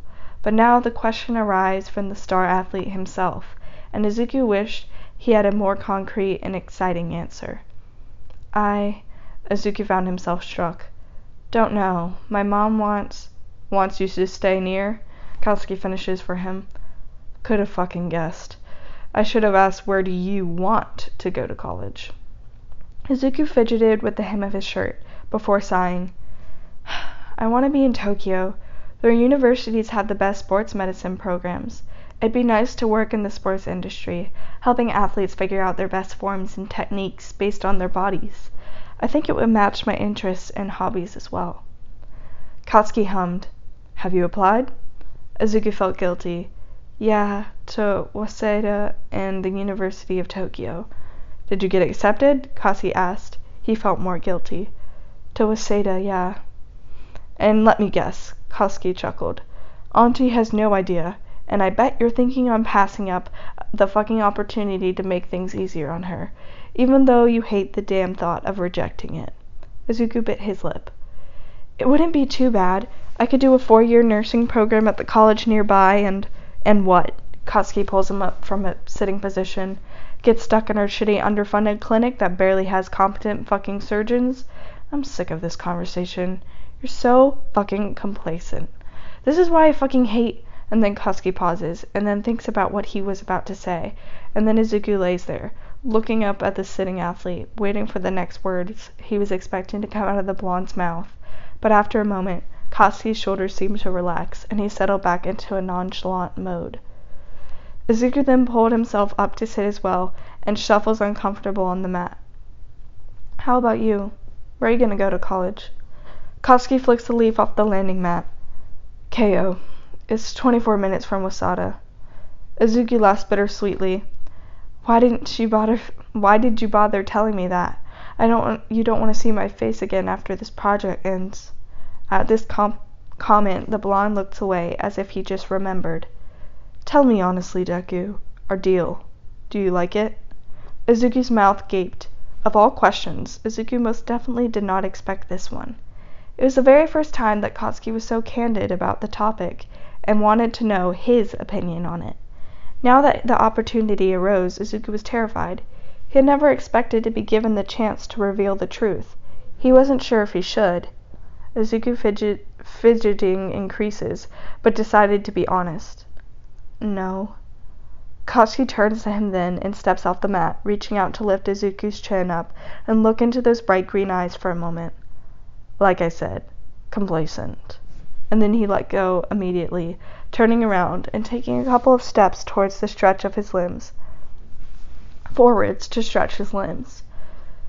Keio offered me a scholarship to be on their vault team, and I'm gonna play club, so I can qualify for nationals and the Olympic trials come another couple years. I'll be in the city for a while, more than a couple years, when I can't vault anymore. I'll settle back down in Ise. You want to come back? Izuku asked. Sure, Katsuki says. Real question is, am I going to come back to find you in the exact same spot I left you? Left you. Izuku tries not to repeat the ending part of that sentence. What Katsuki said slapped him in the face harder than he needed it to. He imagines it then. Katsuki moving back to Ise in a couple of decades from now. Maybe married, maybe not. With plenty of stories to tell, and sights he has seen. Would Izuku still be walking the same boulevards they roamed through as teenagers? Hanging out by the same ice cream shops where sweets were getting a little numb on his aging tongue, watching the newer generation go to the spring dance while reminiscing on his unconventional one and wondering to himself what the boy who swept him off his feet was doing in the city. The thought killed him. I don't want to talk about this anymore, Izuku barely whispers, eyes looking forlorn as he delves into the sadder part of his mind. Katsuki takes a breath and it says, Fine by me. The wind was picking up again, and it pushes the metal gates within its frame, sending its loud echo throughout the entire stadium, and Izuku just listens quietly to it. Katsuki stands there looking up at the bar he knew he was going to clear. Izuku turns his head up towards the sky. It'll be dark soon, Izuku notices. I heard there was going to be a meteor shower sometime between tonight and next Thursday. Katsuki nods. It's not going to be tonight. I heard it's going to come next Wednesday. Why? You want to make a wish on a shooting star or something? Izuku smiles. Maybe. You won't find any tonight, then. Katsuki turns towards him. But I know another place you can make a wish. Izuku tilted his head. Yes? Have you ever been to the Cliff of Wishes? Katsuki asked, bending down to pull up some turf. Izuku knew of it. Almost all the students and even adults in Ise had been there at some point in their life. It was almost like a town tradition, a little outside of Ise, up towards the mountains, There's a rock cliff off the side of the road, and it just it, it juts out pretty far so cars could actually drive on it. Most people park, and the tradition is to throw a rock off the cliff while making a wish. The rock will carry the wish down to the mountain god, who will grant your wish. It was an odd tradition, but one of the one most people have participated in. No, Izuku shook his head. Have you? Katsuki shook his head. Nah. Do you want to go? Izuku asked, swinging his legs above the mat. Katsuki saunters over, picks up his keys off the mat, and shrugs. Sure. The drive to the Cliff of Wishes wasn't too horrible. It was still a bit of a drive, since they had to go up the mountain near Ise and take the sharp incline that led to the rock cliff. The sun set bes- behind them, and Izuku enjoys the wind blowing through his hair as they whipped up the mountainside. Izuku could tell Katsuki liked the incline, considering the boy loved to hike. The cliff was obvious when they arrived since it jutted out from the side of the mountain, and there were tire marks from other cars having been there. When Katsuki pulled off the side of the road to drive on the rock, the sky was just about dark. Just a couple more minutes and it would be completely night. Already Izuku could see stars and the moon. The ground was full of rocks and pebbles, perfect for throwing off the cliff. The green had stepped out of the car once they parked, and slowly he sauntered over towards the edge of the cliff. He didn't go far enough, though, said he that so that something could accidentally happen and make him fall off. The wide cliff that jutted out overlooked all of Ise, some of the surrounding land, and had a gorgeous, gorgeous view of the ocean beyond their small town. It was absolutely beautiful, and Izuku turned to look at Katsuki with smiling eyes. Kacchan, look at the view! Izuku excitedly pointed. Katsuki seemed to let out a grin at this, and ruffled the shorter boy's hair. It ain't bad. Then Izuku began to squint while pointing out things. There's my house, and there's yours. There's Lake En Enid, and there's that junkyard. There's no way you can fucking see our exact houses from here. Katsuki frowned. Oh, I can't. Izuku laughs. I'm generi- generalizing the area. And for a little while they both stand up there and point things out, or at least where they thought things were. Izuku finds it crazy how many more places he knew now because of Katsuki. Finally, Izuku bends down to pick up a mid-sized pebble and holds it in his palms. He looks out onto the view and he thinks. He knew not to say it out loud because of the stereotype. He could feel Katsuki's eyes watching him. He knew what he wanted to wish for. Closing his eyes and thinking about it, Izuku steps back and throws the rock off the cliff. The entire time it goes down, Izuku could hear the clanking as the rock continues to hit more rock, before the dirt muffles out the sound in the forest below. I made a stupid wish. Izuku holds his cheeks in embarrassment. Katsuki raises a brow. What was it? I can't tell you. Izuku frowned, then noticed Katsuki wasn't making a move. Are you not making a wish? The blonde in question shook his head. I don't have any wishes. Izuku looks at him funny. None? How does a person not have wishes? You could wish to win nationals, you know. If I win nationals, there's no way in hell I'm sharing the credits to some wish cliff. Katsuki rolls his eyes. And it will be all me, and only me. Very Kacchan of you. Izuku notes. Suit yourself. You don't have any other wishes? Katsuki sighed, voice devoid of emotion, and shrugged. No. Izuku felt like there was something off about that response, but leaves it anyways with an "Okay." Sitting near the edge of the cliff, with the moonlight so beautifully illuminating the city and the rock beneath them, Izuku was happy enough for now. It was a beautiful day, one that he will stockpile into his memories. It was an unassuming Thursday when it decided to finally rain in Ise. It had began while Izuku was in class. The teacher's voice droned on about something Izuku already studied to death the other night with Katsuki sitting nearby, bothering him the entire time. He was daydreaming about some fake scenario with the two of his favorite comic characters that he shipped wondering what headcanon he could come up with when he heard it first. The pitter-pattering of droplets on the window sill of his classroom, the gentle taps hit the glass and slid down in funny lines, and Izuku's eyes widen as he stares at its trajectory. It was his first rain of the season, and it felt as if he's been waiting for a while. The clouds were finally dark and powerful. Soon enough he'll expect to hear the boom of thunder and bright flashes of lightning. But as of now the rain was calm, and he could see the black asphalt roads begin to soak up the long awaited rainwater. Ise was pretty plenty humid, and the ocean nearby made all the plants look tropical, but rain only came now. He sat in his classroom, but wondered what the sensation of the crying sky on his fingertips felt like. He always found rain to be a sign of a transition, at least in Ise. As his days progresses, the rain increases in intensity. The soft pattering had a turn and fast pour that they can even hear from inside the windowless rooms. The storm drains were working hard to swallow up all the water so it didn't flood the streets. And when the school day ends, Izuku stands under the awning of the school, wondering what he should do. His mother had told him to pack an umbrella this morning, and Izuku had already told her that he had one stowed in his backpack, only to realize it wasn't there. He could text her and ask her to pick him up. Yeah, that's what he'll probably do. His feet were already a little wet from the wind blowing in some water. He stares out in the hazy atmosphere, blanketed in rain, and out onto the track field a bit of a distance away. It was solo practice, and practically speaking, Katsuki shouldn't be there, but he was there, with the pole gripped in his hand and wet clothes matted tightly to his body. Katsuki's hair was dripping ridiculously, and he had to stop and wipe the water off of his eyebrows so that it wouldn't fall into his eyes while he vaulted. Izuku was floored by the dedication, and even though it didn't seem practical to pole vault in the rain, when the track field was slick, the pole was slippery, and the landing pit was collecting water, but evidently Katsuki did not care.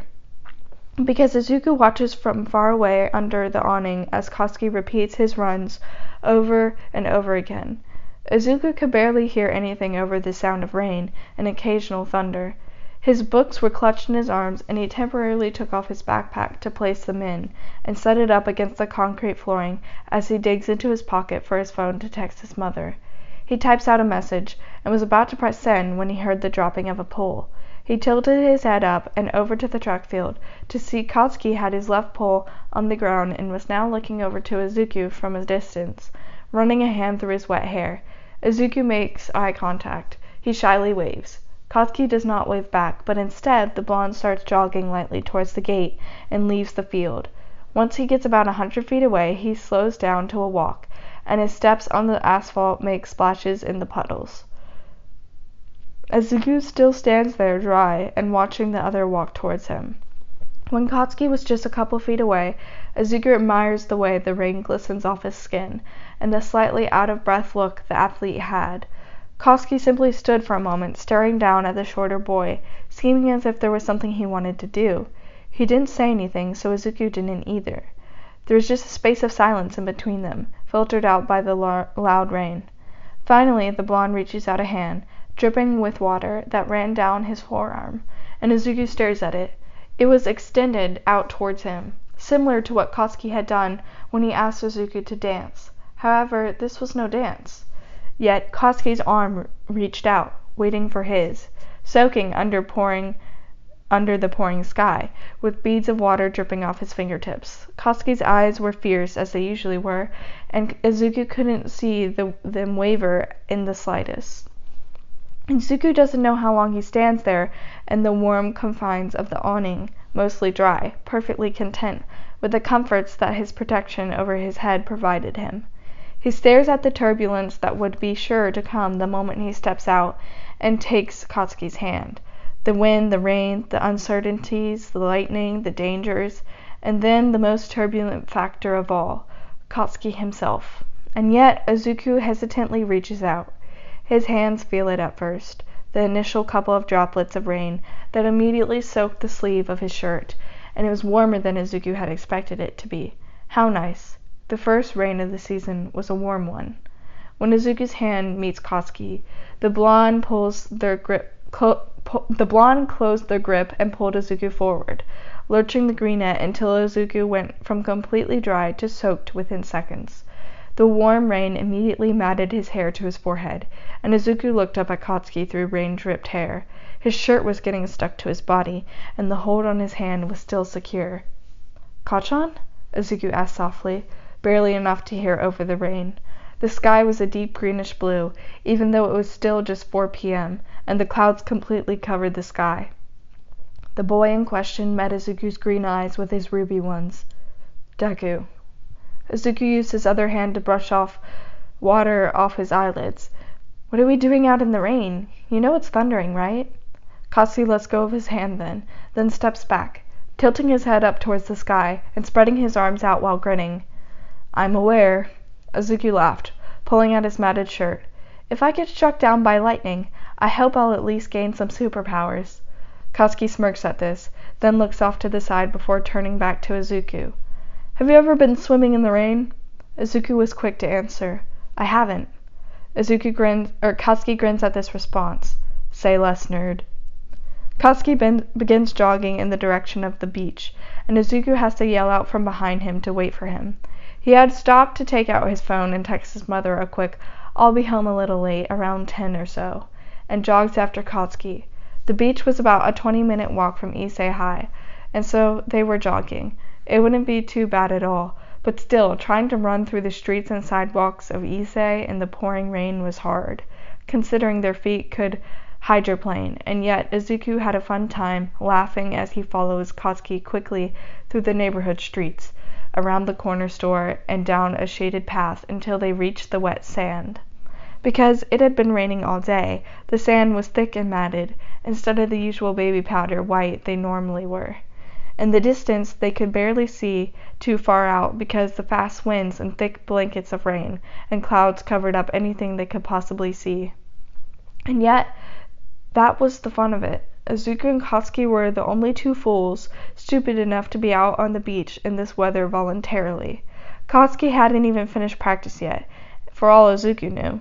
Since their clothes were both soaked, there was no need to strip down, and so both boys ran towards the ocean and immediately jumped in, fully clothed and ready to mess around for a while. The ocean water was cold compared to the warmth of the rain. Seeing the rainfall hit the ocean surface in tiny little dot patterns excited him, and with Katsuki swimming next to his side, Izuku felt ridiculously happy and unconcerned with just about anything else. Every other memory in the world can go to hell. They played stupid water games and just swam out far to tread water and talk. However, it was harder to talk when the waves were rougher than usual, and salt water continuously got up their nostrils and in their mouths. Izuku would smile wider if he could. So, I guess the rain means that Gashi isn't hosting that party anymore, Izuku asked, patting the water out far. He wasn't going to it, he just knew that Gashi, one of their mutual classmates, throws a huge party every year that Katsuki always went to and this year it was scheduled for tonight. But with the rain happening, Izuku was sure there wasn't going to be a lot of people showing, considering the weather. Not everyone had the guts to go out in the rain like this. I wouldn't know. Katsuki rolled his eyes. I wasn't going anyways. Izuku gives him a funny look. You weren't? Why? Did something happen? Nothing happened. Katsuki shrugged. I just don't feel like going this year. Izuku takes this into consideration. Lately some uh, word here and there had been going around the school about Bakugo Katsuki, and Izuku, being who he was, couldn't help but listen and notice. Flutters of conversation throughout the school were, were proclaiming that the all-star athlete just hadn't been very active in parties or anything else lately. In fact, he hasn't attended social events since the dance, and even then the blonde left halfway through to go who knows where and it wasn't as if suddenly he had turned into a social shell, for he was still generally the same person within school, except a bit more off. Without seeming to know it himself, Bakugo Katsuki has picked up weird slang or sayings, and would occasionally go off on little tangents without stopping himself until halfway. He would still curse like a sailor, but the mean remarks had toned down a tiny bit. If anything, it made people more obsessed with him made him feel more attainable. And yet, Izuku realized just then, Katsuki has not slept with anyone in what seemed to be a long time.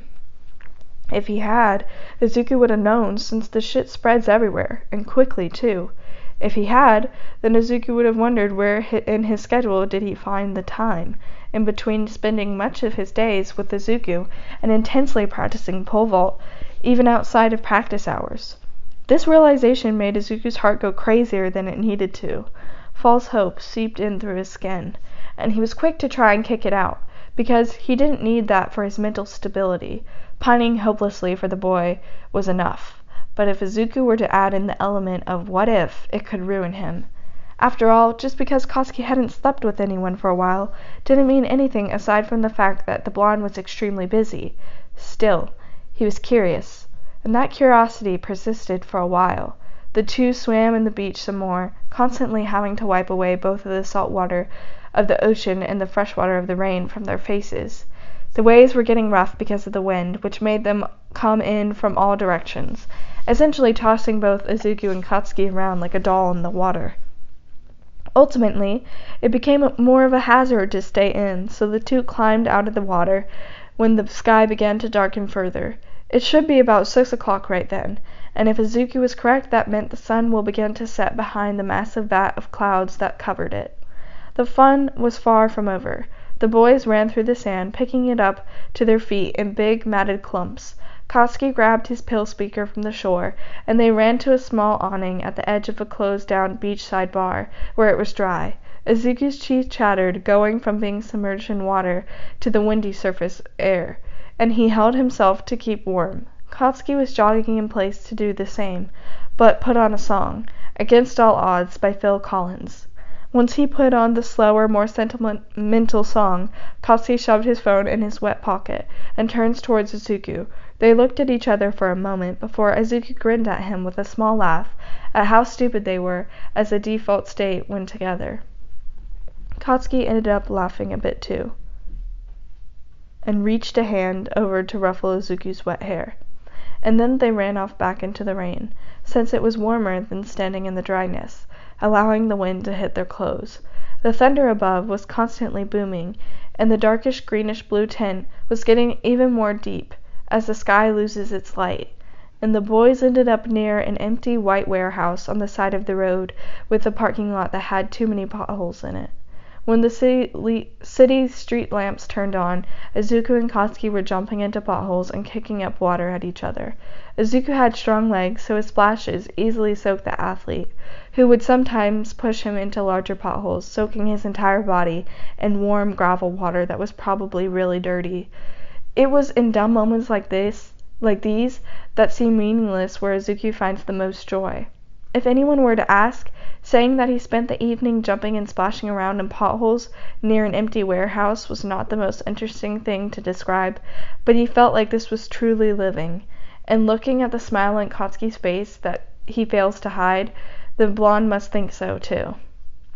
When the rain when the rain begins to slowly pass over them and the fall isn't as heavy, the two of them walk on the empty Ise roads with their sneakers squishing from the water inside of the fabric, back to the school parking lot.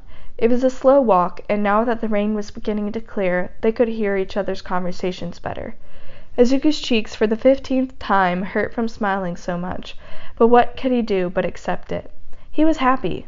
It was dark at this point, with only white street lamps to lighten up the asphalt road with water.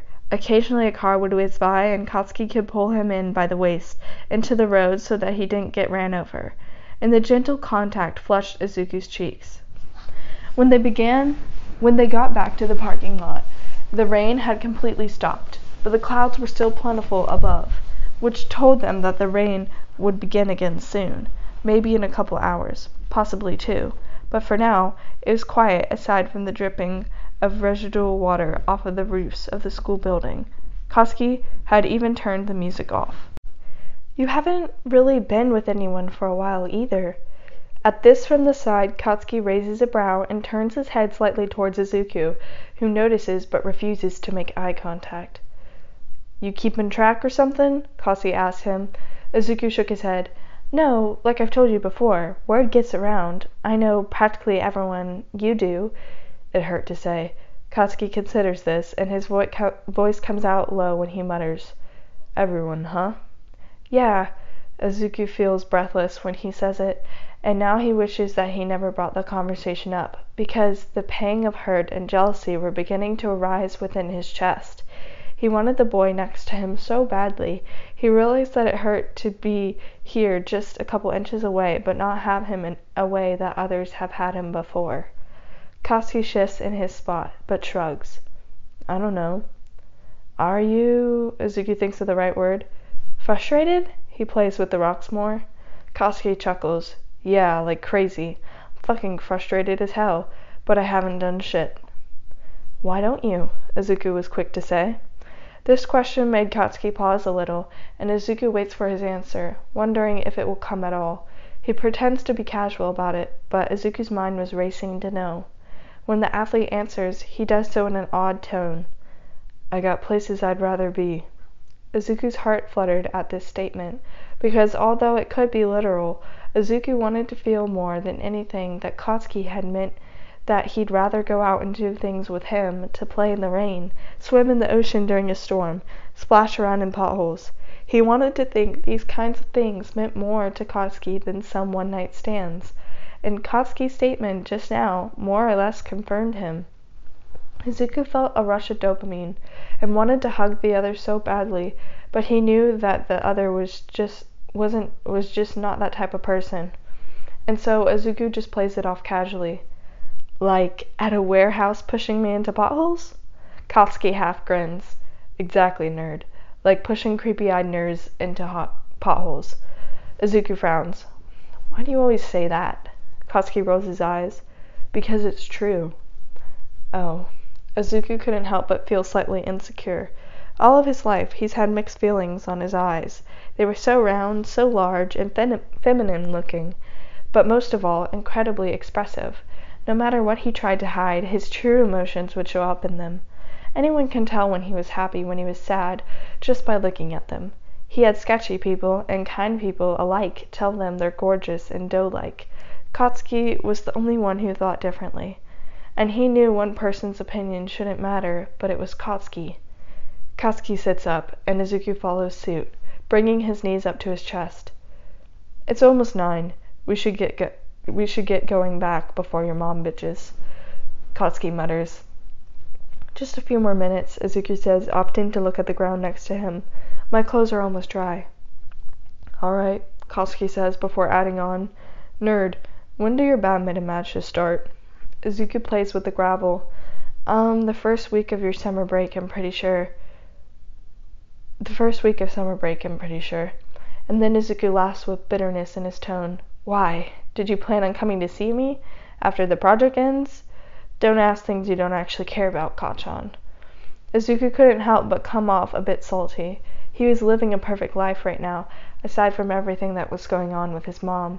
He was happier than ever before, while more conflicted than he's ever been, because he knew that the happiness with Katsuki was on a down on a downward tra trajectory, bound to end up in a heap, a heap of heartbreak. He was on a smooth sailing carriage to his do doom, it felt like. Oi, Katsuki's voice sounded more serious. What the fuck is up with you? Izuku's brows furrowed, and he bit the inside of his cheek. He took a deep breath and attempted to let go of the frustrated, upset feelings plaguing him. He wasn't supposed to get angry or upset. That was never productive, so he tried to let it go. It's nothing, Kacchan. No. Look at me, you fucking nerd. Katsuki tells him from the side. Izuku shakes his head, not wanting to, and his fingers dig into the asphalt just to have something to do. He whispered out an I don't want to. And why the hell not? Katsuki's voice was getting impatient. Look at me, damn it! Izuku's lips felt like trembling, but he held himself together. It wasn't a big deal, and he's had a great evening. There was no need to ruin it now. Izuku, just shakes his head again and says no. Katsuki reaches out for his face, and Izuku sees the hand incoming, but the greenette feeling the pressure inside of him build up without his permission slaps it away. Don't touch me! Katsuki's eyes widen, and Izuku sees in his peripheral vision. The hand re retracted, and Izuku's voice seemed to waver as he says, You. He felt his breath hitch as he tries to keep his tone steady. I don't want to look at you. You don't like my. He looks down at the ground again while slightly pained with a slightly pained expression that he wanted so desperately to hide. My eyes. Katsuki was silent for a moment, and Izuku did wonder what was going on through the boy's mind. The crickets seemed to chirp louder as their uncomfortable silence continued, and Izuku waits for any kind of response, but ultimately but was ultimately okay if the conversation ended there. Finally, Katsuki stood up and said with a frustrated tone, "For fuck's sake, you're not going to look at me because I don't He runs an irritated hand through his hair. "Fuck, are you shitting me, Deku?" Izuku's brows stayed furrowed. "You say it all the time."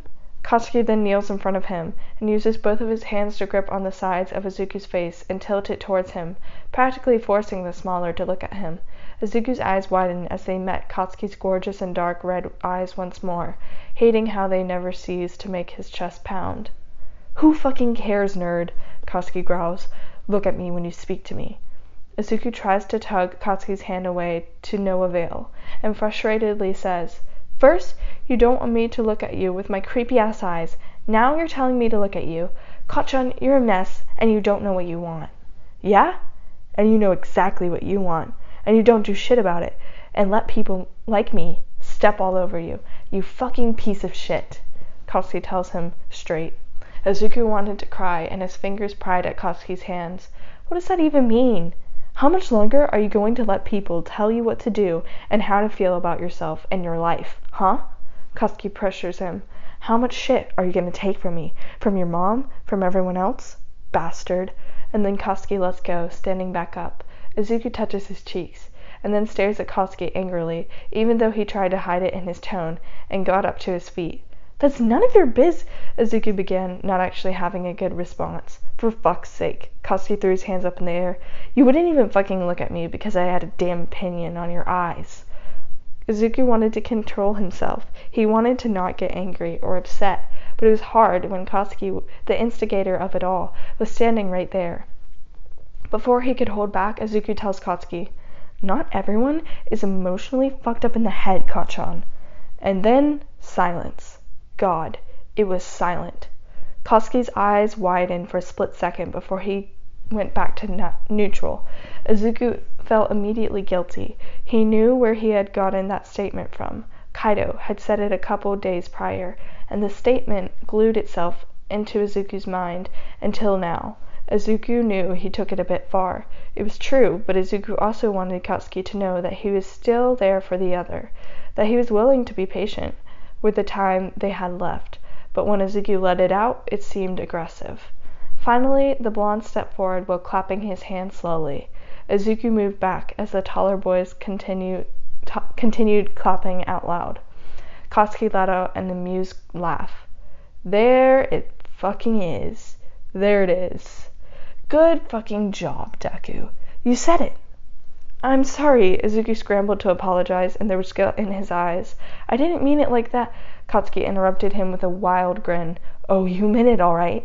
But I really want to hear more, Deku. Tell me about how I'm emotionally fucked up in the head."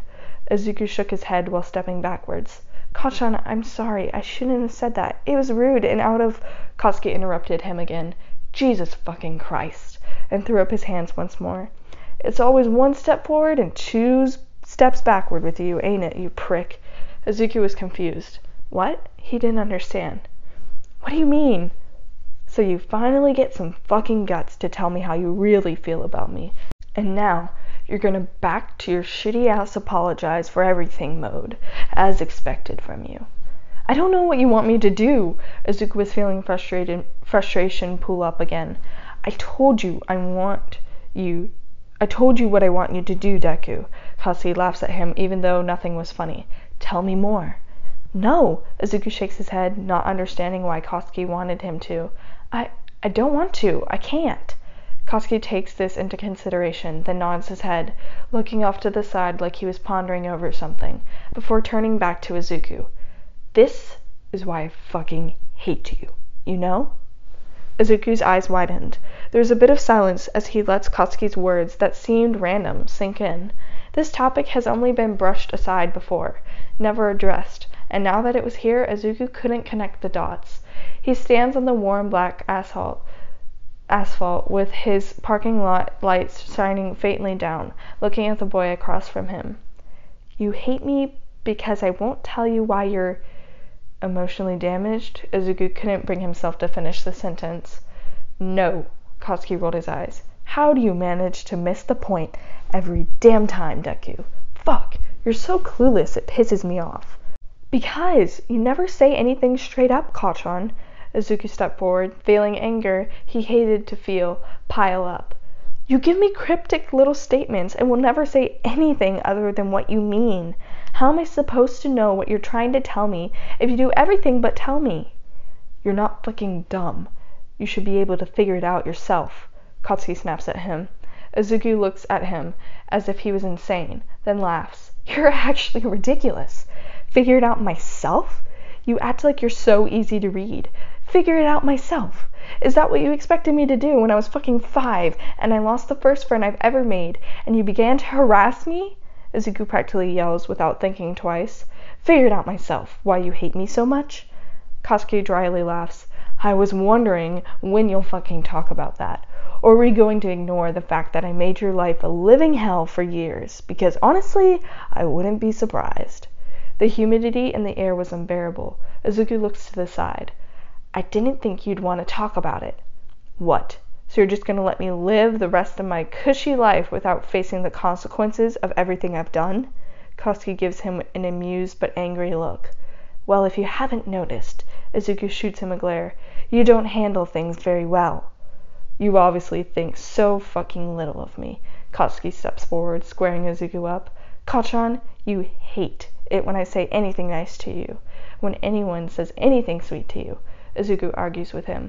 When we were at the di- diner and Hana said you were so helpful, you looked uncomfortable. When I tried to ask about your feelings on anything, you look uncomfortable. Izuku's voice escalated with every sentence. When you feel frustrated and nervous at practice, you make sure you hide it and let nobody know. Why? Because your emotions make you uncomfortable. Shut up. Katsuki tells him. See? Izuku laughs angrily. You're doing it right now, too. And when you feel surprise, or when something makes you upset, or really happy, you let it show on your face for just a second, just enough for me to catch it, before you cover it up, to make it look like you don't feel anything. Why? Because your emotions make you fucking uncomfortable. You can't even hug your own grandfather in front of me because you're uncomfortable. Izuku steps forward with pleading in his eyes, and Izuku's eyes are as watery as he looks down his, at his hands, trying not to let his voice crack. And and I don't know why, because because I like seeing it, Kacchan. He wiped away the water threatening to spill from his ducts. I like seeing you happy or surprised or in awe, and I like being there for you when you're nervous or scared or I don't fucking need you to do shit for me. Katsuki turns away, and Izuku steps forward to grab for Katsuki's arm, who pulls back. But you want me to, Kacchan. I don't want shit from you. Katsuki looks at him angrily. Izuku was tearing up again, much to his dismay. I know it's hard for you, Kacchan. I know the pressure you feel is heavy, and that people have expectations for you. I know that everyone wants you to be a certain way, but I promise I won't ever want anything from you other than your friendship. I don't need you to be the super athlete Bakugo Katsuki. I don't need you to break any records or win nationals. I just need you. You fucking say that, but when I don't, you'll react the same as the rest of them. Katsuki steps forward and points at Izuku's chest. The tension was high.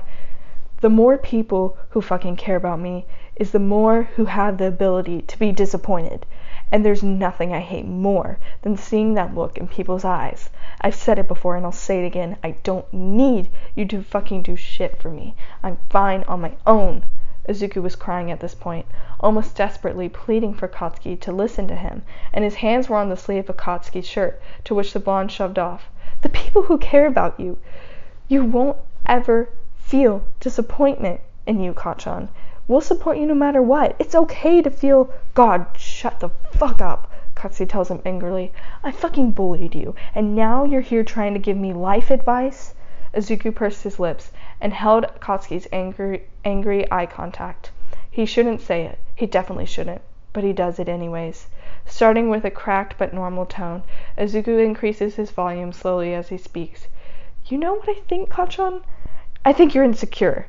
I think you're guilty but you don't even know how to apologize. Why else would you constantly bring that up? Katsuki looked at him with angry eyes, but Izuku continued, Kacchan, you took away a lot of my happy days when we were little. That's true. Izuku bit his lip to stop his tears, and he took a moment to collect himself. But you've given me so many more. Every time I watch you jump a little bit after class every day, I feel like I've been motivated.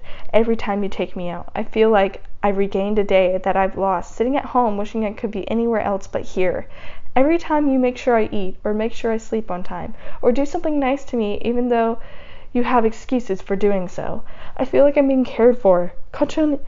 You're so much more than your past. You're insecure about how people view you, and that's why you close yourself off. Because you think that if you convince yourself that you don't care, then it won't matter what they think. Katsuki stares at him then, both angry and surprised, and Izuku doesn't break his gaze. He was slightly out of breath, but he needed to tell Katsuki that. He needed the other to know that although Katsuki was opaque, that there were still some parts that Izuku could see through. Katsuki finally replied, and it was still as frustrating to hear as ever. Great. So you've developed fucking Stockholm syndrome. Izuku wanted to yell, so he just gripped his hair out of irritation and shoved Katsuki away. Can't you take anything seriously? You know what I fucking meant. You can't just play it off as a joke. Talk to me, Kacchan. I need you to talk to me. Izuku cried.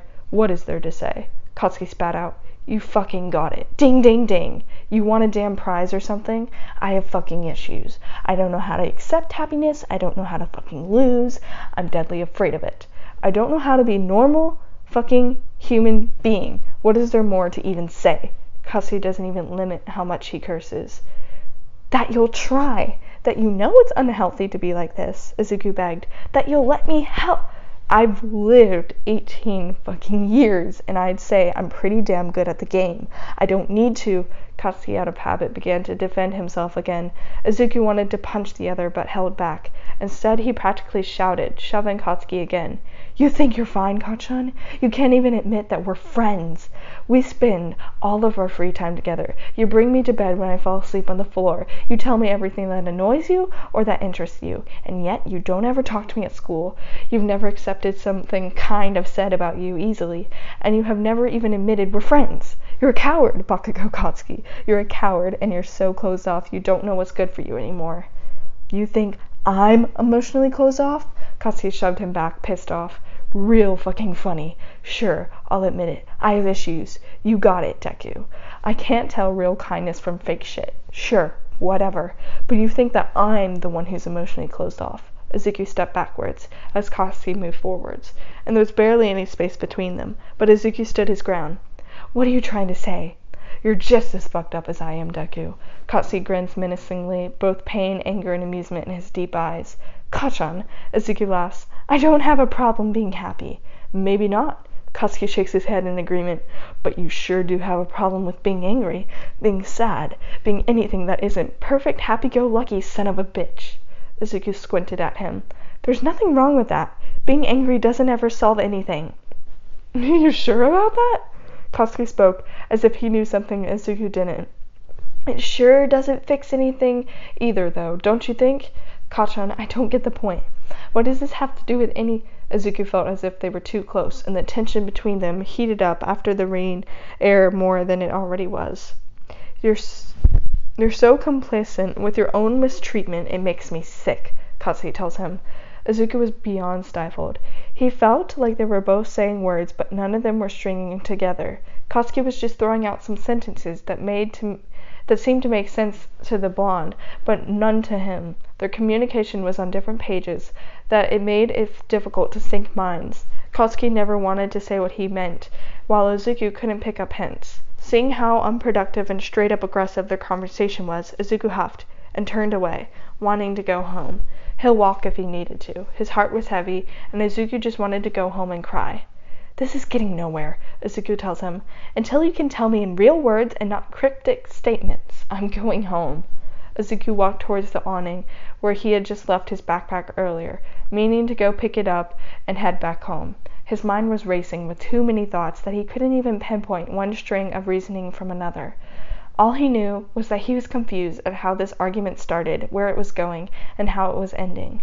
This was the first real argument that they've had in a long, long time, and that weighed heavily on Izuku's shoulders as he turned away from Katsuki, who stood there illuminated by the white street light and clothes still damp. When Izuku gets about three meters away, Katsuki then speaks up, with yet again another enigmatic statement. Do you remember the day you broke my endeavor figure? Katsuki asks, voice quiet amidst the natural sound of Ise. Izuku slowed to a stop and swiveled around to his side, confused but looks at Katsuki. He thinks about it and shuffles through his memories before revealing, "Barely." It wasn't a detail that Izuku really thought much about. It was as if someone asked him what he did in the afternoon on a warm summer day ten years ago. It was a hazy memory, but Izuku some, knew something of the sort happened. He had been messing around with Katsuki's toys when something had happened, and he didn't remember too much of what happened afterwards, other than small arguments ensued. You were in my backyard, five years old. And stupid kids, Katsuki says, not looking at Izuku. That was the day I decided I fucking can't stand you. Izuku felt water well up again, and he hated how easily he teared up. That day? Over something that small. Izuku had expected, all this time, that the reason why Katsuki hated him so much was some extravagant event, and his friends and the others of Ise who knew of their terrible relationship in the past thought so too.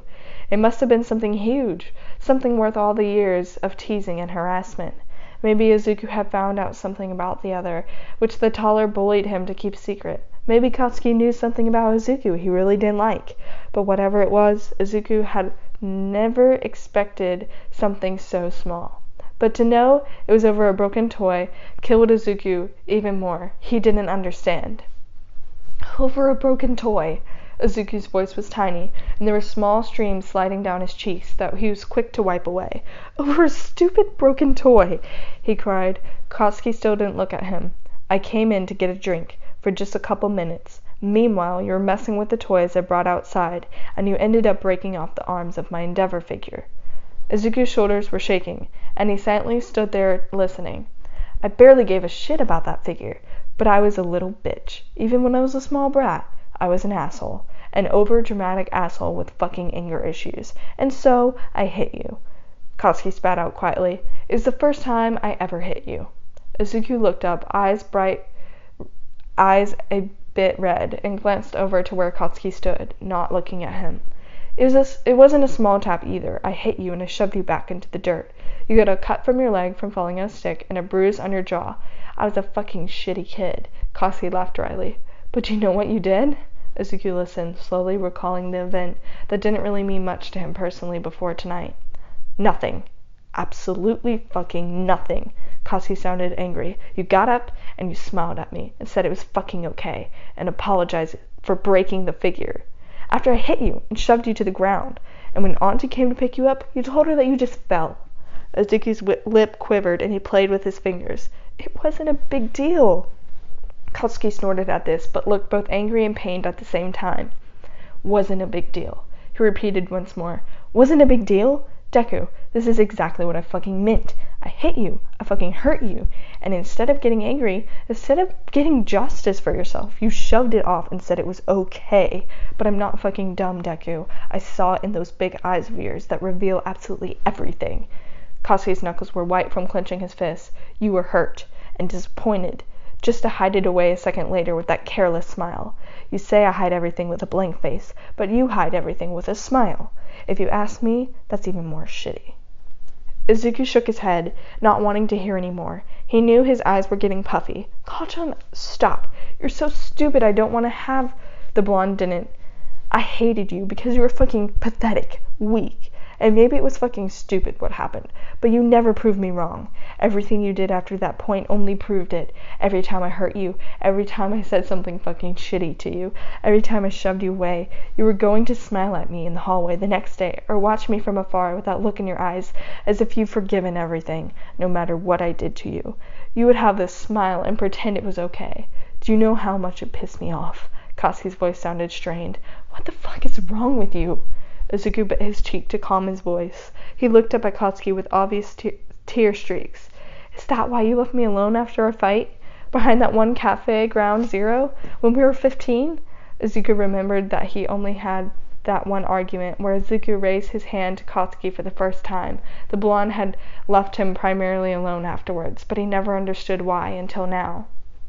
It was the first time you actually did some shit for yourself, even if you apologized like a bitch for it afterwards, Katsuki tells him, voice full of venom. I fucking hate people who are fine living in their own shit. You shove all your anger and bullshit away, but I can see in your damn eyes how much it hurts you. You're so fucking easy to read, Deku. Izuku's shoulders continued to shake from the shock and pain of hearing all this relayed to him, as Katsuki keeps telling him. And it's not just me, Katsuki laughs. You let everyone step over you, and you do nothing about it. The greenette shakes his head. No, I don't. Just to have some pride for himself, even though he knew Katsuki was right. Oh, you don't? Katsuki sounded extremely irked. I don't. Izuku makes his final attempt to save himself. You do. Katsuki tells him, making his way over to the greenette, and his words slap Izuku in the face. You let your mom, you let the students, you let yourself step all over you, and you smile and pretend it's all fucking dandy. Kelsey looked at him incredulously. Who the hell even taught you that? You think the only emotions worth feeling are happy-go-lucky giddiness and constant joy? Katsuki scoffs. You think it's healthy to shove your anger, your sadness, all of your emotions that you think are negative? Well, let me teach you something, Deku. You're going to feel it either way, whether or not you want to. It's a matter of now or later. You're going to feel angry, sad, frustrated, no matter how much you shove it away. You're just saving it for later. You're just building up that shit until it consumes you. And once you let it go, and trust me when I say you will let it go, you're not going to even know what the fuck to do with yourself. Izuku's eyes widened. All of these statements, Izuku knew, applied to Katsuki as well, but up until now he didn't know they could be applied to himself. I can't, Izuku cries silently. I can't help it. I want to see you get angry, Deku. Katsuki tongues his cheek and reaches out to tilt up Izuku's chin. I want you to get mad. I want to see you grow a pair of fucking balls and stop taking shit from me, from your mother, from anyone. Sure, I have fucking expectations on me, but you think you don't give yourself your own? People expect you to be the town sweetheart, to be perfect, to always fucking smile. And like me, you can't break out of it either. Izuku shakes his head as if he didn't want to hear the truth. Kacchan is hard. It's harder than you think. Katsuki ignored him. Have you ever told your mom about how fucking impressive she is? Have you ever told anyone about how frustrated you are with your dad for leaving you? Because I know you are. Have you ever told me how much you hate me for all that I did? Have you ever told anyone how sick you are of people thinking you're a goody two shoes? Ha! And you think I'm emotionally closed off. I don't hate you. Izuku shakes his head, eyes closed so that Katsuki couldn't see the redness as he cries. I never hated you. Katsuki ignores him.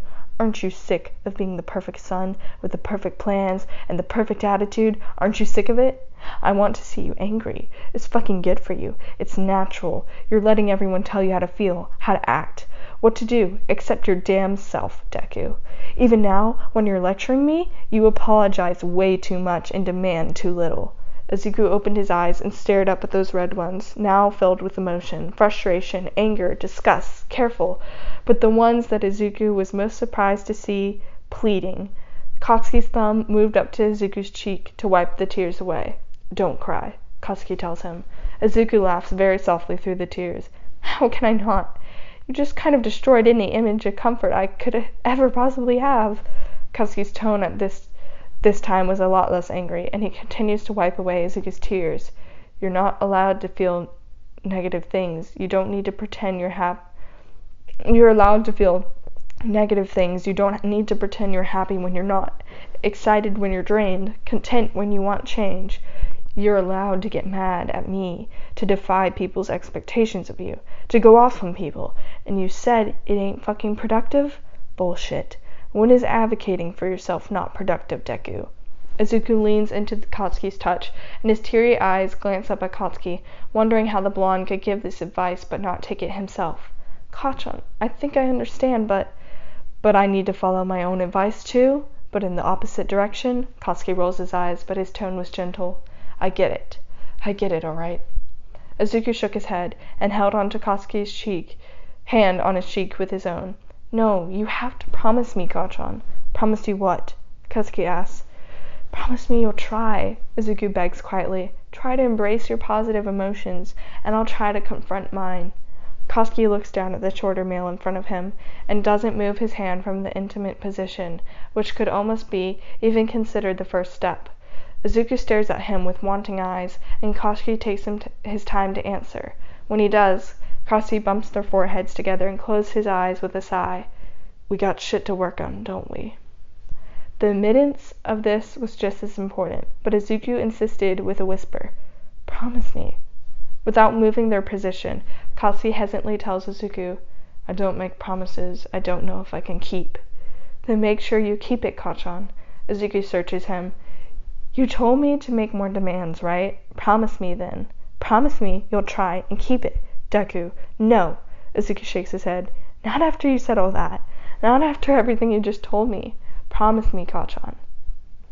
Katsuki looks at him with conflicted eyes, and Izuku knew it was not an easy road to change, not an easy realization to know you need change. Many years had made Katsuki into who he was, and it was going to be a long process to unwind all of that. But ultimately, Katsuki tells him, looking away, I promise. Izuku looked satisfied with this for now, but there was still something that needed that seemed to be on the tip of his tongue, and Katsuki noticed. What is it now? the blonde asked, thumbing the smallish cheek. Izuku's voice seemed insecure as he spoke. Do you actually hate me? Izuku immediately felt like throwing up in anticipation for the answer, but he heard Katsuki's sigh, and he moved his hand from Izuku's cheek to run up through the brunette's hair before deciding to for the first time in their entire relationship be honest about how his thoughts towards Izuku. No. Izuku felt as if he knew that internally, but he needed confirmation. Katsuki was always straightforward with everything except how he felt about him. He could be honest with quite about everything else except his perspective, perspe- perce- perception of Izuku. And at times like this, Izuku needed Katsuki to tell him straight up rather than having him guess and read between the lines. Izuku looks up at the other, eyes shining with both relief and overwhelming feelings. The blonde stood across from him, hair still slightly damp, looking down at the shorter boy. Izuku wanted to simmer in this powerful but odd moment a little longer, where he could replay all of the words Katsuki and he had just exchanged and, this, and simmer in it for a while. However, before he had the opportunity to do so, Izuku saw the flash of blue light, and his eyes darted towards that direction, to find that a car was entering into the parking lot. At the disruption, Katsuki stepped away, putting his hands in his pocket, and turned towards the source of in the interruption. It wasn't just any car that entered the parking lot, but what looked like to be a police car. Since Ise was such a small town, both Izuku and Katsuki knew the entire small fleet of the police force since they likely grew up riding their bikes next to the cops, or maybe their parents knew them. The siren sounded once, and Izuku and Katsuki walked towards the cop car with, which was pulling up near Katsuki's car. Curious and wondering if there were any sort of trouble, both the boys began walking towards the cop car. When they were within earshot, earshot, the cop rolled down the window to reveal that it was Mr. Hadashi, who knew his mother relatively well. Mr. Hadashi? Izuku asked, probably looking like a mess. His eyes were most definitely red, and there were likely streaks of tears dried up on his face, and his clothes were almost dry but clearly looked like he'd been playing in the rain. Mr. Hadashi waved and looked surprised. Midoriya, I've been looking for you. I was going around the city looking for you, and saw a random car in the school parking lot. Turns out it's you two. Bakugo, good evening to you too. Izuku came up to the window and leaned down a bit, furrowing his brows. You've been looking for me? Is something wrong? Uh, Mr. Hadashi kind of scratched the back of his head. It depends. On? Izuku frowned, confused. He turned to look over at Katsuki, who just leaned against the car and shrugged at Izuku. On whether or not you're okay, Mr. Hadashi says. So, are you alright? Izuku shook his head furiously. Yeah, I'm perfectly fine. Wait, why does it depend on if I'm okay? What's going on? And why were you looking for me? Oh, um, the cop looked a little apologetic as he begins to tell Izuku. Well, we got a 911 call about an hour ago from Inko, er, your mom. Izuku's heart dropped, and his fists clenched up automatically. You have to be kidding me, he thought to himself. And, Mr. Hadashi continued, she was freaking out, crying and begging and everything, saying that you went missing and that you were gone. So I asked her when was the last time she had contact with you, the cop waved his hand around lazily. Protocol, you know. And she says that you texted her earlier saying you'll be home around 10. So I told her that's fine and to wait until 10, and you weren't missing. You probably went out with your friends and didn't specify where you were. My daughter does that here and there. It's not that big of a deal. Izuku felt lightheaded, and he couldn't believe that his mother actually. But she insisted that you were missing, and that I needed to come find you. She threatened to call other cops, so I decided to just go find you so she'll calm down a little bit. Although I must say I was sure you were fine. I would advise, though, knowing how Inko is, to just text her when you'll be home. She called the cops? Izuku tells him, as if wanting confirmation. His voice was unsteady and was stiff. Yeah, Mr. Hidashi looked a little sorry. She called the cops, even though I told her I was going to be home around ten. Izuku's voice was taut as he checked his phone. It's nine. It's literally nine twenty-three. Midoriya, I'm just doing my job. Mr. Hidashi held out both of his hands, and your mom insisted I find you. Izuku flipped his head over to Katsuki, who looked cautious of Izuku. He knew he must have looked tense right now. A vein was threatening to burst out of his forehead, and he felt both embarrassed, ashamed, angry, and sad all at the same time. Any momentary happiness he could have had today was completely turned upside down. And where is she now? Is she at home or at the station? Izuku asks, voice very rigid and for a moment terrifying. Mr. Hidashi tells him, She should be at home. I told her there's no need to go to the station. Good. Izuku says, Great. Wait, Deku, Katsuki began. However, before Katsuki could finish any thought, Izuku had already taken off towards home. He didn't bother saying bye or grabbing his backpack from the awning. The greenette just ran towards the direction of his home at maximum speed, weaving in through the neighborhoods to get on the fastest route. The entire time, anger and sadness surged through his head. His mother was paranoid, paranoid, sure. He accepted that fact a long time ago, from when he was three years old and above. She's really only let him hang out with a select group of people, and she's always restricted what he did. He had to stay within walking distance to his house. He had to text her back within, within an hour. He had to be home before 8 p.m. He had to always accept her rules or not go out at all. And when he was old enough, he got to be home later, but nothing changed after 10 p.m. He could be outside of walking distance, but he would but she would give him a long talk beforehand. Every time he's asked to hang out, it feels like he's fighting on a battlefield. The tension was so thick that he could cut it with a knife. So yes, he knew she was overprotective. But this calling the cops before he had told her when he'd be home. This was something else. This was way worse than calling up his school to prevent him from attending from a very event he'd, plan- he'd planned. This was worse than taking away, away years of his childhood and teenage experience. He was embarrassed. He saw that look of pity from the cop's eyes, his friend's eyes, from Katsuki's mouth. They all knew his situation, and they felt sorry for him. And now the woman had gone so far as to call the cops on a full grown adult who should be able to decide to go home at 10 p.m., which was generous. Izuku ran until his lungs felt as if they were going to collapse on him, but the anger that coursed through his soul pushed him forwards. His footsteps left large splashes over the rainwater everywhere. He couldn't tell whether he wanted to cry or whether he wanted to scream. He hit the ground with every hard step, and he needed to get home now. He didn't know what he'll say when he sees her. He doesn't know what he'll do. He was utterly losing his mind. He turned onto his street, and saw his house in the distance. The porch lights were on, and the door was wide open, but he couldn't see his mom. If it was as if she was patrolling in and out of her house, waiting for him to arrive home. Izuku felt angered just thinking about it, and he ran even faster. His legs wanted to give out, but he ran up on his driveway and onto the porch. When he got there, Izuku put his hands on his knees and heaved, catching his breath. His chest went up and down, regaining oxygen, and he tilted his head up.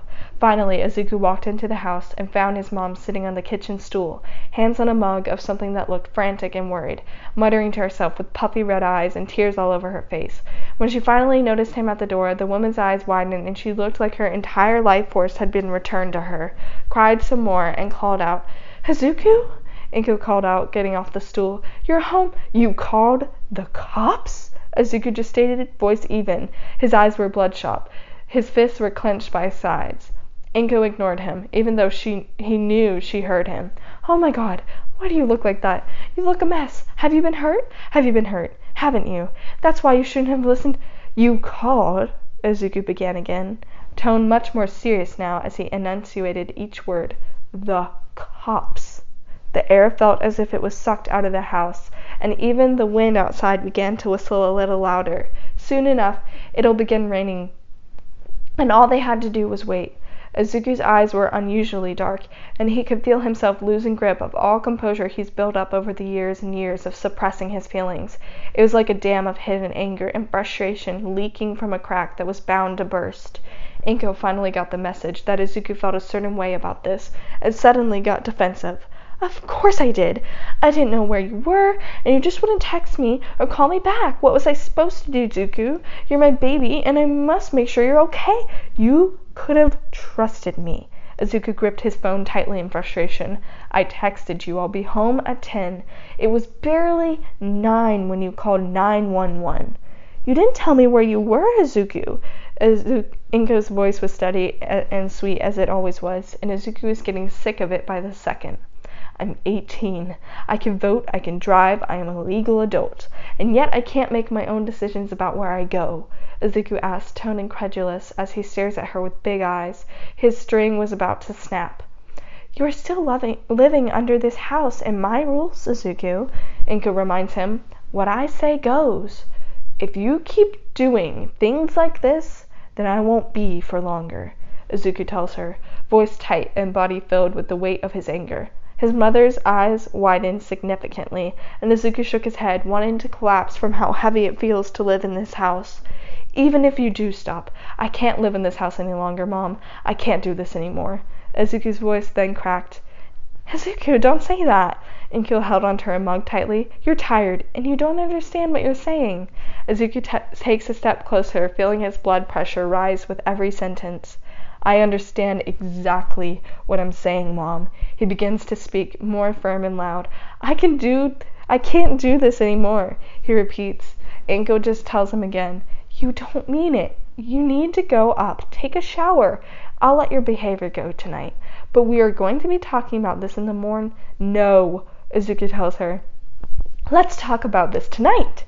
You were up for it a couple of minutes ago, weren't you, Mom? He steps forward some more with the hint of a smile on his face, one that revealed that he had just given up.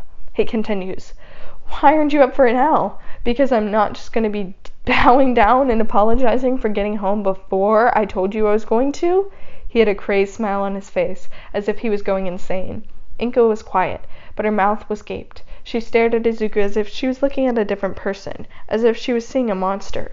If she wanted to see a smile so bad on her precious boy's face all the time, then here it was, one that was devoid of happiness. Izuku continued, walking one step towards her, voice crescendoing as he spoke. Were you expecting me to come home and thank you for caring so much? So much that you called the cops and wasted their time. They have better things to do with their time, Mom. Do you understand that? Izuku talked to her as if she was dumb. They have better things to do than to look for normal adults doing normal activities at normal times. I was fine, Mom. I was fine. I don't need you breathing down my neck every single minute. Inko looked cautious, but kept her volume level even. Izuku, you know it was because I was wor- because you were worried for me. Izuku waved his arms around dramatically, as if he were drunk, and turned around in place. Because I'm your precious baby boy. Because you care about me. Because you know what's best for me. Izuku laughed. Mom, do you know how many times we've had this exact conversation? Do you know how many times I've heard those words come out of your mouth? Izuku, are you okay? Inko looked at him as if he was going insane. You're not being yourself. You're scaring me, Izuku. Izuku only added to her perception by laughing at her reaction.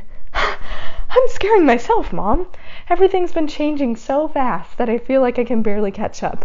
The world is moving around me so quickly, and I'm only beginning to stumble behind to grab my place. And yet I feel more alive and aware than I've ever been. Isn't that crazy? He wipes his eyes and laughs some more. He came from one hard conversation back into the damp, humid parking lot to another one immediately the moment he stepped into his own home. Inko shook her head, curling into herself. Izuku, you need to go to bed now. No, Izuku tells her, feeling a surge of power at the fact that he just straight up defied his mother. He was going too far, he knew it. He looked deranged, he knew that too. And yet this was what happened when the eighteen years of pent up anger comes out, and he didn't know what to do with himself. I'll drag you to bed, Izuku, Inko warned him calmly. Do not test me. Izuku shrugs and gives her a funny grin. I'll just sneak out. What? Inko blinked up at her son, shocked to hear such a response. I said, Izuku repeated, giving up. I'll just sneak out of the house. Inko was taken aback, and Izuku wonders if this was good enough to make the calm and collected woman lose her composure. Inko shook her head. You would never. You're a good boy, Izuku. Izuku smiles at her. Mom, does it surprise you to know that I'm not that good of a boy? Does it surprise you to know that I sneak out at least once a week? and do other things I only dream about to watch others do. Speaking of, Izuku pretends to be curious by thumbing his chin, why do I even feel like I have to sneak out? Shouldn't I, at this age, be allowed to just leave? To go to an ice cream parlor? Or to a skating rink? And then he shrugs as if he didn't care. That's just what the whole world thinks, but not you, apparently. Inko shook her head and stared at him in horror. No, no, this isn't happening. Mom, does it shock you to know I do a lot of dumb stuff when I go out? I swim really far out into the ocean. I sneak into lakes at night. I go explore abandoned buildings here and there, too. I also get hurt sometimes. Izuku shoves it in her face. Little cuts here and there from rocks or branches. A bruise once in a while, too. But I'm such a baby, I can't take care of myself, right? And that's why I need to be kept inside of this house all of the time, right? Izuku sarcastically laughs. Inko put her foot down on the carpet. Enough! Uh, Izuku, you're far out of line. I don't know what's gotten into you or why you're like this tonight, but you will deal with the consequences. Her voice wavered. I'm putting a tracker on your phone, and you're not leaving this house. Not even for the project. I'll contact Mr. Toshino. The boy in question just smiled lazily, but there was no humor in his face. I'm far out of line. You called the cops, he repeated for the third time. You've said that, Inko said, voice more terse now but still candy-like, and Izuku wonders what it will take for her to get truly angry. And you haven't given me an explanation that isn't stupid. Izuku giggles, feeling so out of it he wanted to die. He knew he looked insane, and yet he couldn't make himself think hard and tiptoe around this conversation with her like he used to.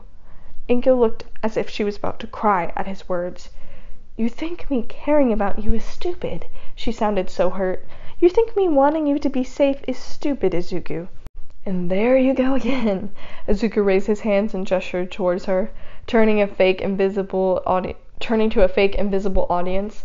There she is, everyone. Exhibit A. I call this the manipulative mother. She's sweet.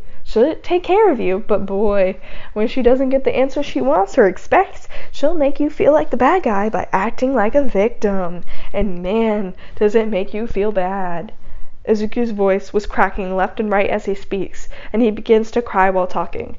She'll say everything all nice and soft, so if you don't show any negative emotions, you look like the evil one. She'll twist your words around so that it looks like you don't like her. Isn't she amazing? Izuku bowed to the fake audience in their broken living room. Why are you doing this to me, Izuku? Inko spoke with a very gentle expression, voice pleading. And you're doing it again, Izuku points out, crying with her. You're always doing this, Mom. If I say anything unsatisfactory, you get all quiet. And you'll say things like, make me feel bad and a neglectful son. And if I end up thinking it was my fault, how is that fair? Izuku looks down at his feet. How is that fair? He repeats while burying his face in his hands. I'm just doing my job as a mother, Inko tells him, making her case, because as a mother I do what I have to do to keep my son safe, even if you don't like it. When you have kids, you'll under when I have kids, Izuku says, now completely serious, although quiet tears slide down his cheeks, I will not repeat your mistakes. I'm not going to suffocate them. I'm not going to make them feel like they can't talk to you about certain things in fear that you're going to freak out. Izuku slowly got louder, stepping closer to his mother for emphasis.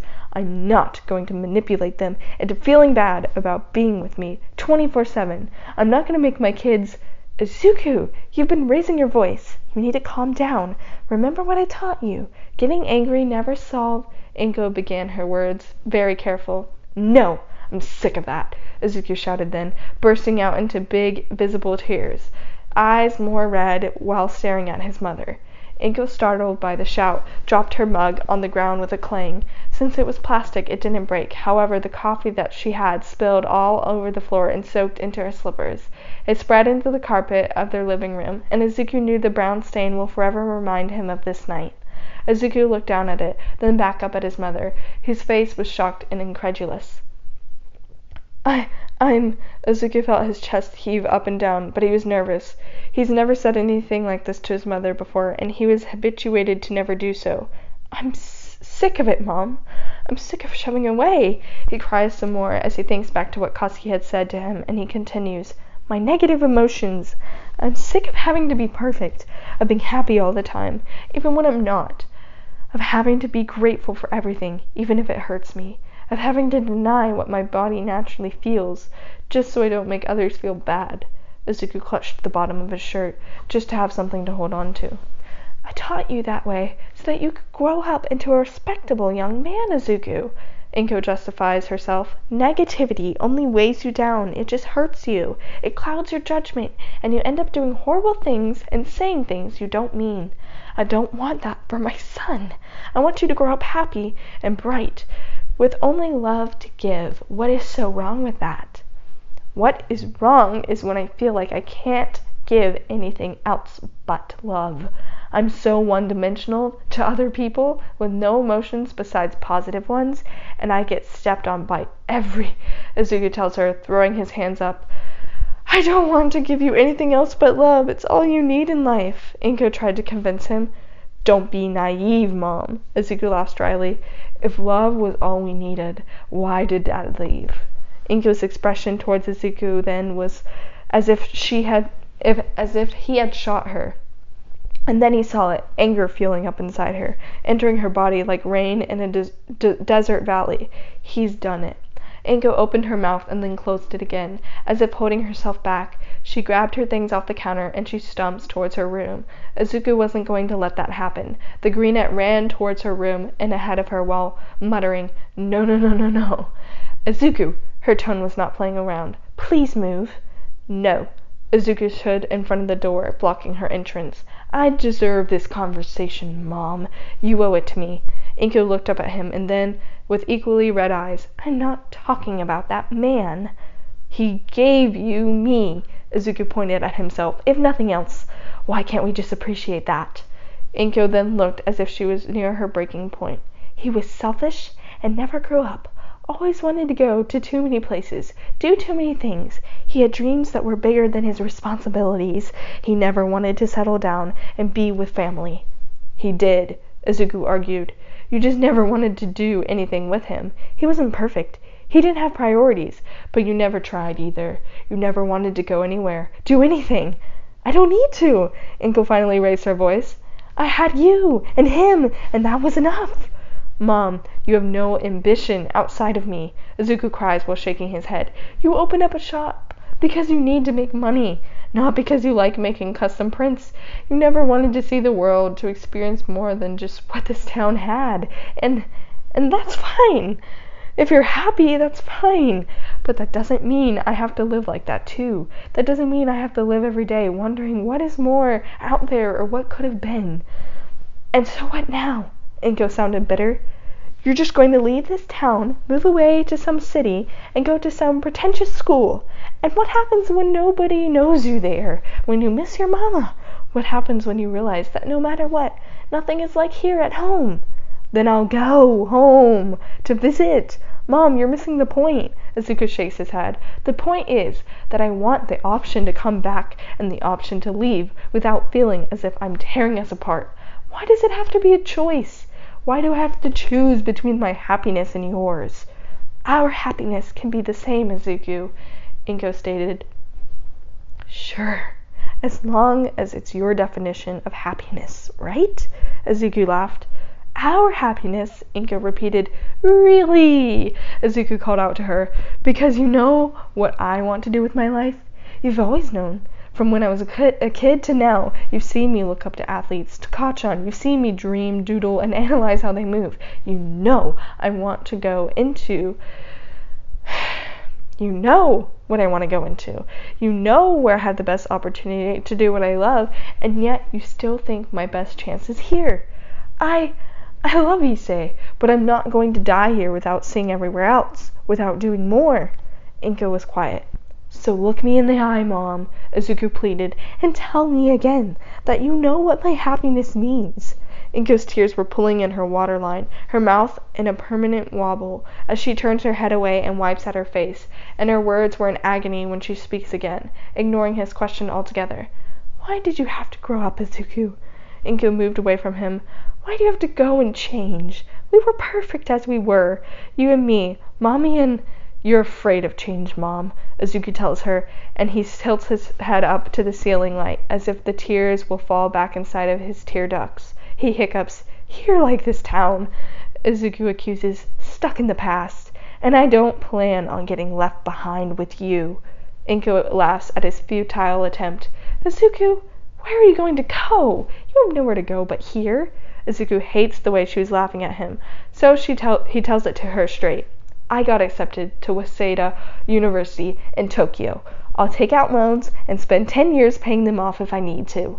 His mother's laugh stops at that, and her entire body goes frozen and her eyes search Izuku in a desperate attempt to see if it was a lie.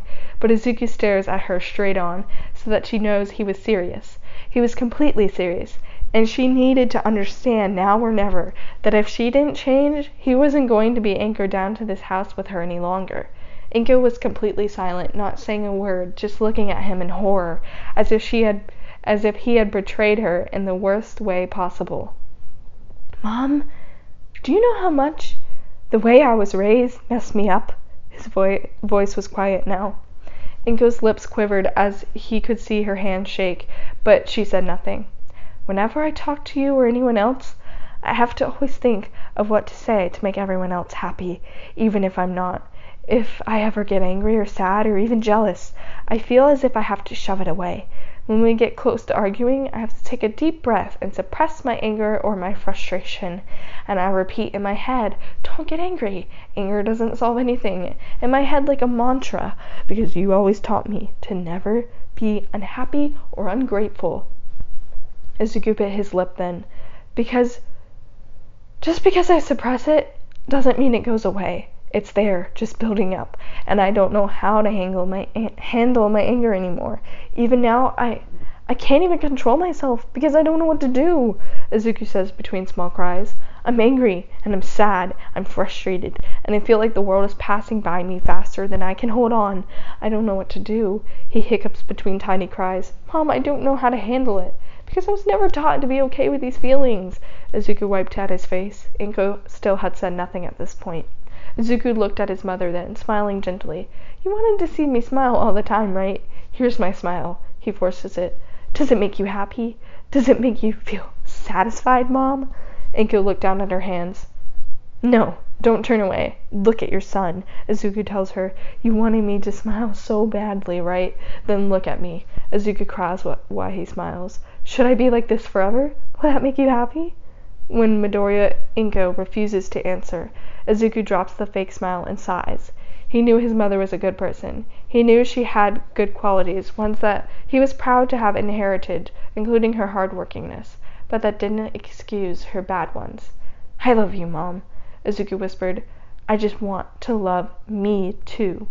And then Izuku walks away, stepping up the stairs as he feels all the tears he held back choke up in his throat, and outside Izuku hears the rain start pouring again, and he didn't want to be here any more. He didn't want to be in his house, breathe in this air, and feel all of this tension and strain interwoven around every floorboard, every fibre of carpet, every square inch of his home. He couldn't stay here tonight, not when his mother and the conversation he just had snuck into every crevice of his brain. He felt so guilty, he felt so bad for all that he said and all that he's done to Inko tonight, but he constantly reminded himself he was allowed to feel anger, he was allowed to step up for himself, he was allowed to sit in pain and sadness and shouldn't shove it away, just for it to get worse.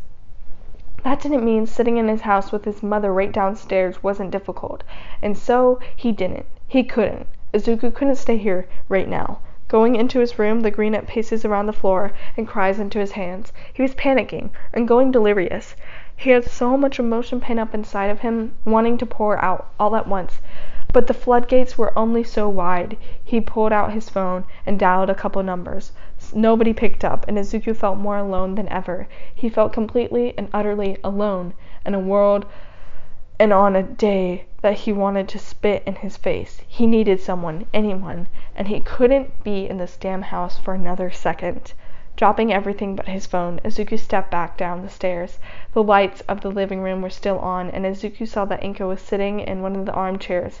Her head didn't even turn to him when he walked past the living room, and Izuku cried some more, suppressing his sounds until he opened the door and walked out of the house in the rain. If she didn't know he left the house randomly before, then she did now, and she didn't even look at him. Izuku sobbed into the night air the moment he stepped out onto the porch, pulling his body forward, even though it wanted to collapse out of mental exhaustion, and he walked through the streets of Ise as the rain soaked him for the second time this day. His shirt was once more matted to his body, but everything felt like a numbing sensation, and he just wanted to feel anything. He could barely see through the downpour, and his only guiding lights were the street lamps that were slightly blurred out by the rain. Izuku walked for a while, wondering where his tear ducts when his tear ducts will dry up, but they felt endless. He never spoke to his mother like that. He never let his mental restraints go like that. He never behaved like that. He doesn't know what to do. Izuku finds himself, more intentional than not, standing in front of a door that belonged to someone very familiar shivering to himself because the rain was colder now than it was earlier. His lips were probably blue, his eyes were definitely red, but he couldn't even bother to think about that. Izuku wonders if he should knock. But he was done wondering when his body automatically reached up and rung the doorbell, as if he needed it. He wonders if Aunt Mitsuki or Uncle Masaru will come to greet him. If they did, Izuku wasn't exactly sure if he can explain himself in this mental state. He was an absolute mess. He stands out there on the front door for a bit, shaking in his spot and crying to himself. He wanted to stop, but he couldn't. Every time he tried to calm down and force his tears to stop, one thought of what happened tonight, and it, wa- and it was waterworks all over again. Izuku was about to give up altogether and accept that he'll just roam the streets of Ise until morning, or at least until he can find the courage to go back to his house, when the door of Bakugo of the Bakugo family opened to reveal an irritated-looking Bakugo Katsuki with rings around his eyes, holding the door aggressively as if ready to start a fight.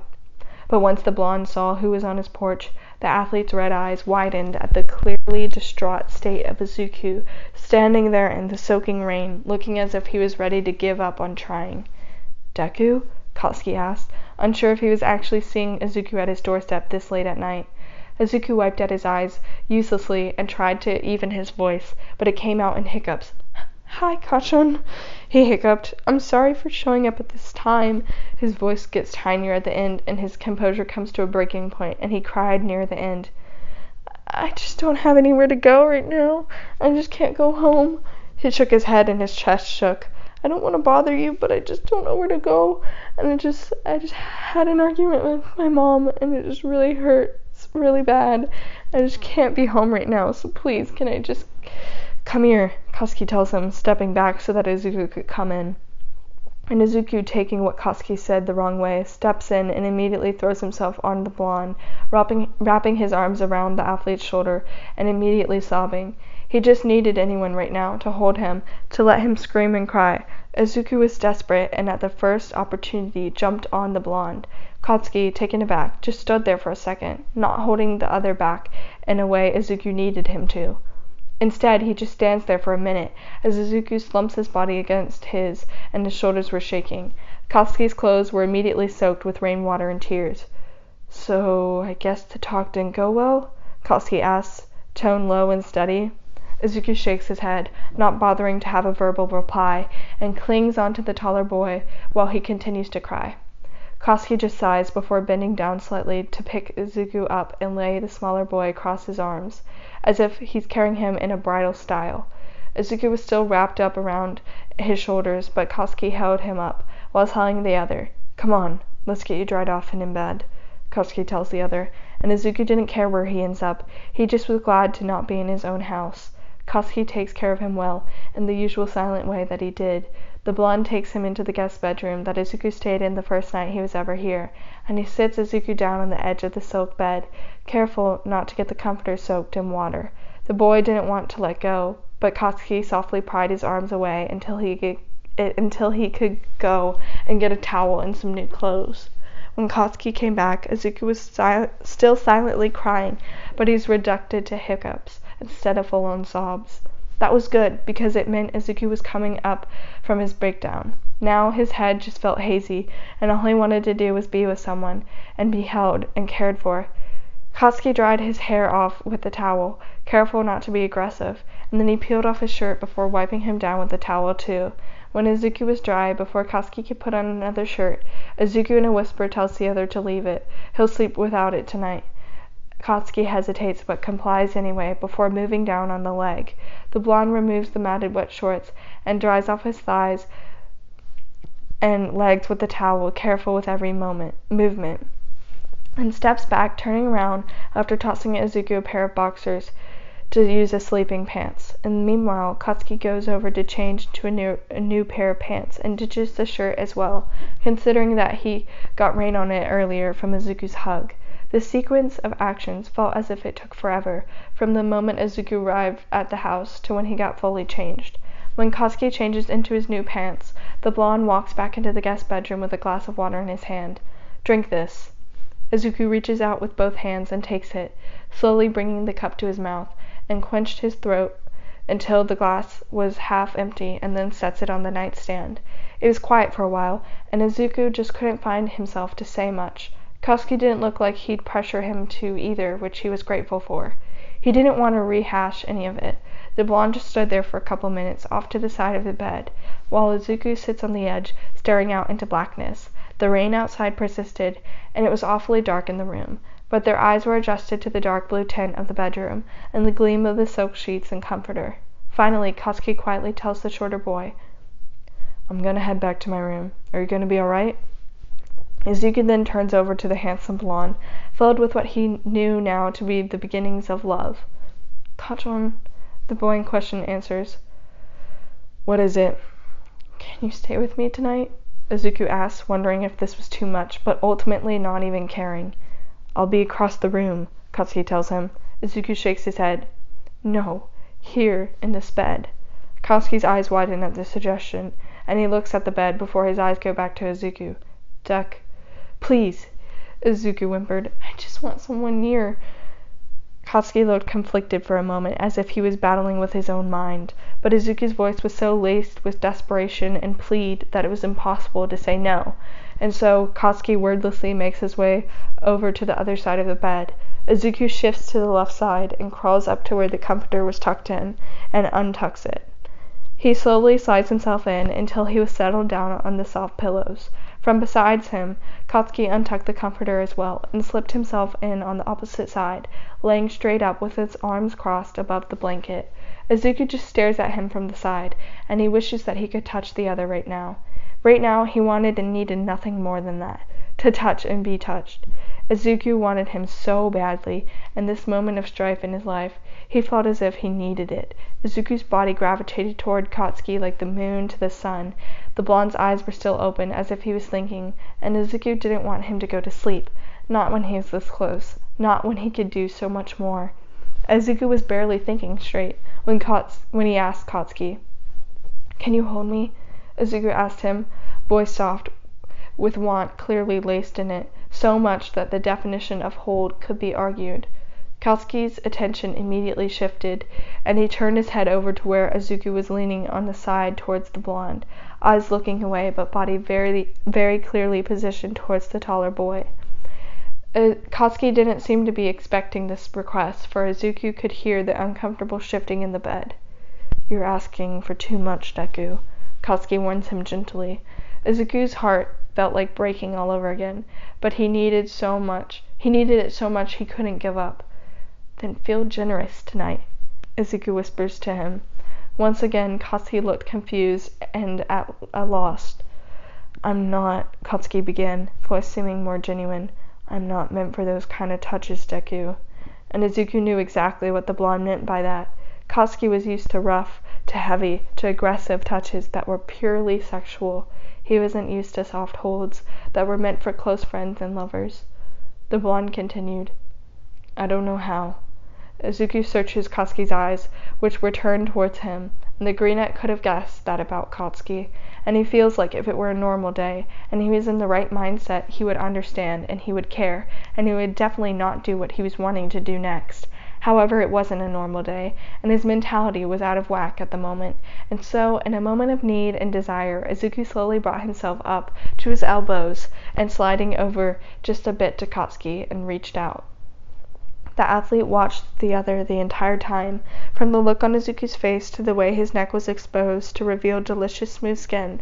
Katsuki watched as Izuku reaches his hand out to grab onto Katsuki's own hand as if to guide him. Izuku picks up Katsuki's right hand that was just resting there and brings it up closer until it was headed towards Izuku's body. Then touch me in the way you know how, Izuku whispered out suggestively, eyes slightly hooded, as he brings Katsuki's hand down to touch his body, resting the athlete's large and rough palm against his chest, over the perfect budding nipples from the coldness of the room, and down his torso. Katsuki let the Greenette play for play from a moment, before pulling his hand back and turning his head away. Deku, stop. Izuku didn't understand. What about Izuku was just so unappealing for Katsuki to not want him in the way he wanted others?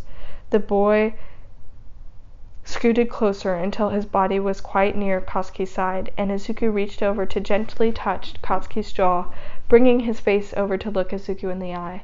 In the dim, bluish tint of the bedroom, Izuku can see the red gleam, and he wanted so badly for Katsuki to touch him in any way. He didn't care. "Why?" Izuku whispered, bringing his forehead down to rest against Katsuki's. "You don't want to?" The Greenette then moved his legs so that they were that they would go over Katsuki's hips and pushes his body forward until he was now on top of Katsuki, straddling the blonde's hips, while his upper body still laid on top of Katsuki's. Izuku was merely inches above the taller boy, and his palm was resting against Katsuki's sharp jaw. Their lips were barely three inches apart, and they were touching chest to chest. Katsuki breathed into his mouth, all without making contact. Deku, you don't want this. Shit, he cursed as Izuku grinded his hips down. Izuku hovered his lips above Katsuki's, and they both played a game of where they got so so close but never actually touch, before asking the other, How are you gonna tell me what I want, Kacchan? Katsuki sounded adamant when he tells Izuku this next. The blonde's hands were now on his hips, not actually trying to push Izuku off, but not bringing him any closer. You're fucking angry, sad, frustrated, and you're probably feeling lonely as shit right now, Deku. He growled in Izuku's ear. You don't want this. I could be anyone, and you'd think this is what you want.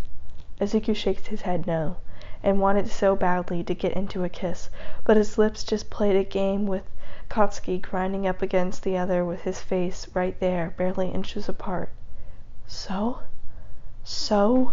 Katsuki says angrily in a low voice. Fucking stop it. You'll regret it in the morning if you go any farther, Deku. Izuku laughed prettily, and sits up until he was truly straddling Katsuki's hips, and Izuku tilted his head back while using his own hands to play with his pert nipples. Pert nipples, making Katsuki watch him toy with his cute little buds. You're not stopping me. But Katsuki couldn't reply. Izuku saw it too. Under hooded eyes, Katsuki watches him play with his nipples, twisting and pulling at him at them while parting his lips as if he wanted something in it. Something salty, or maybe even a bit bitter. The blonde's eyes were watching him intently, words lost on the athlete, who lays there underneath him. Izuku, up to the game, begins to grind up on Katsuki's lap once again, making sure to bite his lip and smile lazily down at Katsuki. He then closes his eyes and tilts his head back until he lets out a quiet moan, enjoying Katsuki's friction provided him. After a moment, the blonde in question snapped out of it and pulled himself up into a sitting position, with Izuku still on his lap, and gripped the boy's chin. Izuku felt so small compared to Katsuki, but enjoyed the feeling of being on him like this. He blinked up at Katsuki with wide doe eyes. You need fucking sleep, Deku. Katsuki warns him, eyes darkening. You're fucking delirious. You're clouded by all your damn emotions. You just need anyone to fuck you right now so you can distract yourself, and you don't fucking deserve that. Izuku raised an eyebrow up at Katsuki, who looked so serious. And you care about what I deserve? What if I want that? Izuku was just talking out of his ass. Should I go ask someone else? That was the wrong thing to say, because suddenly their positions were flipped, and Izuku was on his back, while Katsuki was pinning him down from the top. The blonde's strength was unreal, and Izuku knew he couldn't move if he, if he tried. He looked up at Katsuki with his eyes filled with lust, and Katsuki had a wild and almost angry look on his face. You leave this room to get fucked by someone else, and I'll kill them, Katsuki warns with a dark tone. Izuku has noticed by now that Katsuki threatens that a lot. Izuku tempts him. Then fuck me, Kacchan. The blatant request shocked Katsuki, who stared down at that freckled face, which looked at him now with such need. Izuku's lips were slightly parted, chest breathing heavily, and nipples were still as hard as ever. Izuku knew he was doing something. He glanced down to see that a slight tent had formed in Katsuki's pants, and so if nothing else, Izuku now knew he had the ability to attract Bakugo Katsuki. No, the athlete declares, brows furrowing. Clear your fucking head. You'll fucking hate the idea of being with me come morning. But you? But will you? Izuku ignores Katsuki altogether. Kacchan, does it hurt? The greenette gestures his head down to Katsuki's crotch. I can help. You said you were frustrated, didn't you? Fuck, Katsuki mutters to himself, while his face was still turned to the side, and then he looks back down at Izuku. Fuck, shut up, he breathes. I'm going back to my room. You need sleep. Izuku reached up to hold on to Katsuki's jaw and bring the blonde back down, and he comes a little too easily, and they dance around each other's bodies on the bed. But why? I was told I'd give really good head. Izuku tells Katsuki, and this made the aggressiveness in Katsuki spike to a level to a high level, because at that comment Katsuki stops their little games and pushes Izuku's shoulders into the mattress, with another hand on the greenette's face, thumb prodding at those lips. And who the fuck told you that? Katsuki's eyes were burning and his tone was dangerous. Izuku's eyes widened, but he felt himself harden up a bit at the mere thought that Katsuki could be jealous. The blonde leaned down, pushing his shoulders into the mattress more, and he shoved his finger down Izuku's mouth, barking out a low, "Is that what you and Fuckface have been up to? You've been sucking his cock?" Katsuki's voice was pure venom. Izuku doesn't say anything, but instead he enjoys this look on Katsuki more than he should. It made the other even angrier. "Tell me, nerd." Katsuki sticks, sticks his thumb deeper in Izuku's throat, and the shorter male loved it. "Does he make you get on your knees? I bet he fucking holds your hair back while he slaps his balls on your chin." Katsuki looks so pissed. "God, I want to kill him. Should I?" "Why?" Izuku laughs, when Katsuki pulls out his thumb, followed by a trail of saliva. "Who am I to you?" At this question it was like it jolted Katsuki awake, because the blonde took a step back and looked at Izuku as if the question burned him. Izuku, now a little confused, waits for some sort of response from the other, only to get nothing, as Katsuki lets go of his pinned shoulder, and then he just declares, "I'm not doing shit to you, and that's final. You're not leaving this room, and that's final. I'm not your mom. I don't want to fucking make your decisions for you. You've had enough of that shit already. But this? I'm not letting you go and fuck just because you want a distraction. Katsuki tells him, reaching out to tuck a streak of Izuku's hair behind his ear. He knew where Katsuki was coming from, and yet Izuku felt, still felt rejected in a way. Izuku's eyes felt like watering again. Why am I not enough? Don't fucking ask that. Katsuki looked distressed at the question, and leans down again. The athlete was back on top of Izuku, but this time in a much gentler fashion. This time Katsuki puts a hand on his waist, and places his lips near Izuku's chin, hovering feather-like touches from his lips down different parts of Izuku's body. I told you, Deku. Izuku watches him, heart pounding fast. Katsuki was so gentle right now, as if he knew how fragile Izuku's mind was at the moment. The athlete just moved down his torso and his waist, looking up at Izuku as he goes down. Go to sleep. You won't want me in the morning. Izuku at just how careful Katsuki was handling him, felt a little bit of his desperation seep out as he gets overwhelmed with something else the feelings of falling in love with Katsuki. Katsuki, without even knowing Izuku's feelings, wasn't going to take advantage of Izuku's deranged and desperate state, even when it was clear that the blonde was at least physically attracted to him. Katsuki naively thought that Izuku was suddenly feeling this way about anyone because of how horrible his night had been, when it was more like Izuku had already felt this way to a minor extent, but his night has made him feel as if he needed it. And so he tells the other softly, "And if I do?" Katsuki looks away. "You won't." Izuku just sighs, and then lets his body go loose, a sign to Katsuki that he wouldn't try any more, and then he lays back into the bed, looking off to the side. Katsuki sits in the same spot for a couple minutes, and they let, let the silence simmer in between them, allowing Izuku to calm down further, and for Katsuki to contemplate on something.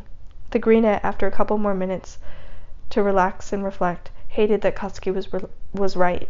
He was absolutely shameless in his desperation, and he wasn't going to enjoy the full experience if the entire time he was just praying it would distract him still. He felt rejected in a way. Then, from his left, Katsuki slowly moves back under the covers and scooches right up next to Izuku, snaking an arm around the boy's waist and spooning him from behind. Izuku lifts his head and looks down before glancing back at Katsuki. Kacchan? Katsuki hummed. What are you doing? Izuku asked quietly, biting his lip. Holding you, like you asked me to, Katsuki says, rounding back to how it had been in the first place. I'm fucking shit at this, but I can try. As a friend. Izuku was initially shocked that the blonde had finally admitted that they were friends, but he was also bitter that Katsuki wasn't doing this because he wanted to. Izuku tries to pry Katsuki's arms off his waist frustratingly. "I don't want your pity, Kacchan. Please, if you didn't want to before, then I don't want to force yourself to do this just 'cause you feel bad. Just get off me." "Shut the fuck up," Katsuki growled, and pulled him even closer into the taller's chest. "I don't do shit I don't want to do." Izuku then stopped his prying, and glanced back at Katsuki, but the athlete had his eyes closed. He was surprised. "So just stay still and go to bed," Katsuki tells him, voice tired. "I'm okay with this, just for tonight." Izuku wanted to say something more, but Katsuki clearly didn't want to talk any more. So Izuku just laid back down, feeling the warmth of Katsuki's arm against his skin. Izuku was sure that Katsuki had never held someone like this, but it was nice, and it was also something Izuku might possibly regret in the morning, too. "Just for tonight, huh?" Izuku whispered to himself, as the person behind him drifts into sleep minutes later, and with that he hopelessly wished that tonight never ended.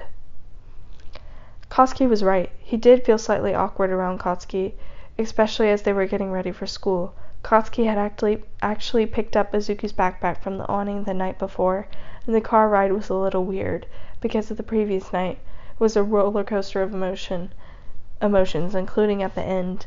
They didn't talk about what happened, and Izuku was grateful for that, because he honestly would not have known what to say. However, despite it being a little awkward, Izuku knew that in a hangout or two they would be back to normal. This wasn't bound to go for long, and more than the oddity that was last night, Izuku knew at least he promised at least he has the promise made between them that they will both try. Izuku will try to embrace his negative emotions more, and Katsuki will try to embrace his positive ones. It was a quiet day. Izuku knew at some point he needed to go home, but for now he had school, which he went as it usually did, nothing too much out of the ordinary, and when it ended Izuku knew there was team practice outside of the track field in a moment. After all, it was just a Friday. Izuku wonders if he'll do something today, and decides to just go for it, to see if Katsuki was all bark and no bite, and all talk and no action. Izuku goes to visit the vending machine, buys a cherry Gatorade, and when he leaves the school to walk towards the track field, instead of watching for the outside, he like he usually does on team practice days, when no one is around to see Katsuki and Izuku interacting, the greenette opens the gate and walks through. He steps over the grass and then onto the poly polyurethane track field. The vultures were simply stretching right now, but upon seeing someone who wasn't part of the team walk up, everyone kind of paused to see. The, they knew who he was. Izuku was the boy who always came to watch Katsuki from afar. Izuku was the town sweetheart with a rumored exhilarating side. Izuku was someone who was generally known to get along terribly with Bakugo Katsuki, and yet he was inside of the fence. Kirishima nudged Katsuki, who had his foot up against the bench, leaned down to tie his track shoes. At the nudge, Katsuki looked up at Kirishima, who nods in Izuku's direction, and when Katsuki turns around and makes eye contact and, and holds it, Izuku was slightly nervous, but determined. He was determined to make this the first step in Katsuki's mission to try. He knew everyone was watching them as Izuku approached the other, even if the rest of the team, including the coach, was pretending to have other conversations. When Izuku was just two feet apart from the star athlete, he stops.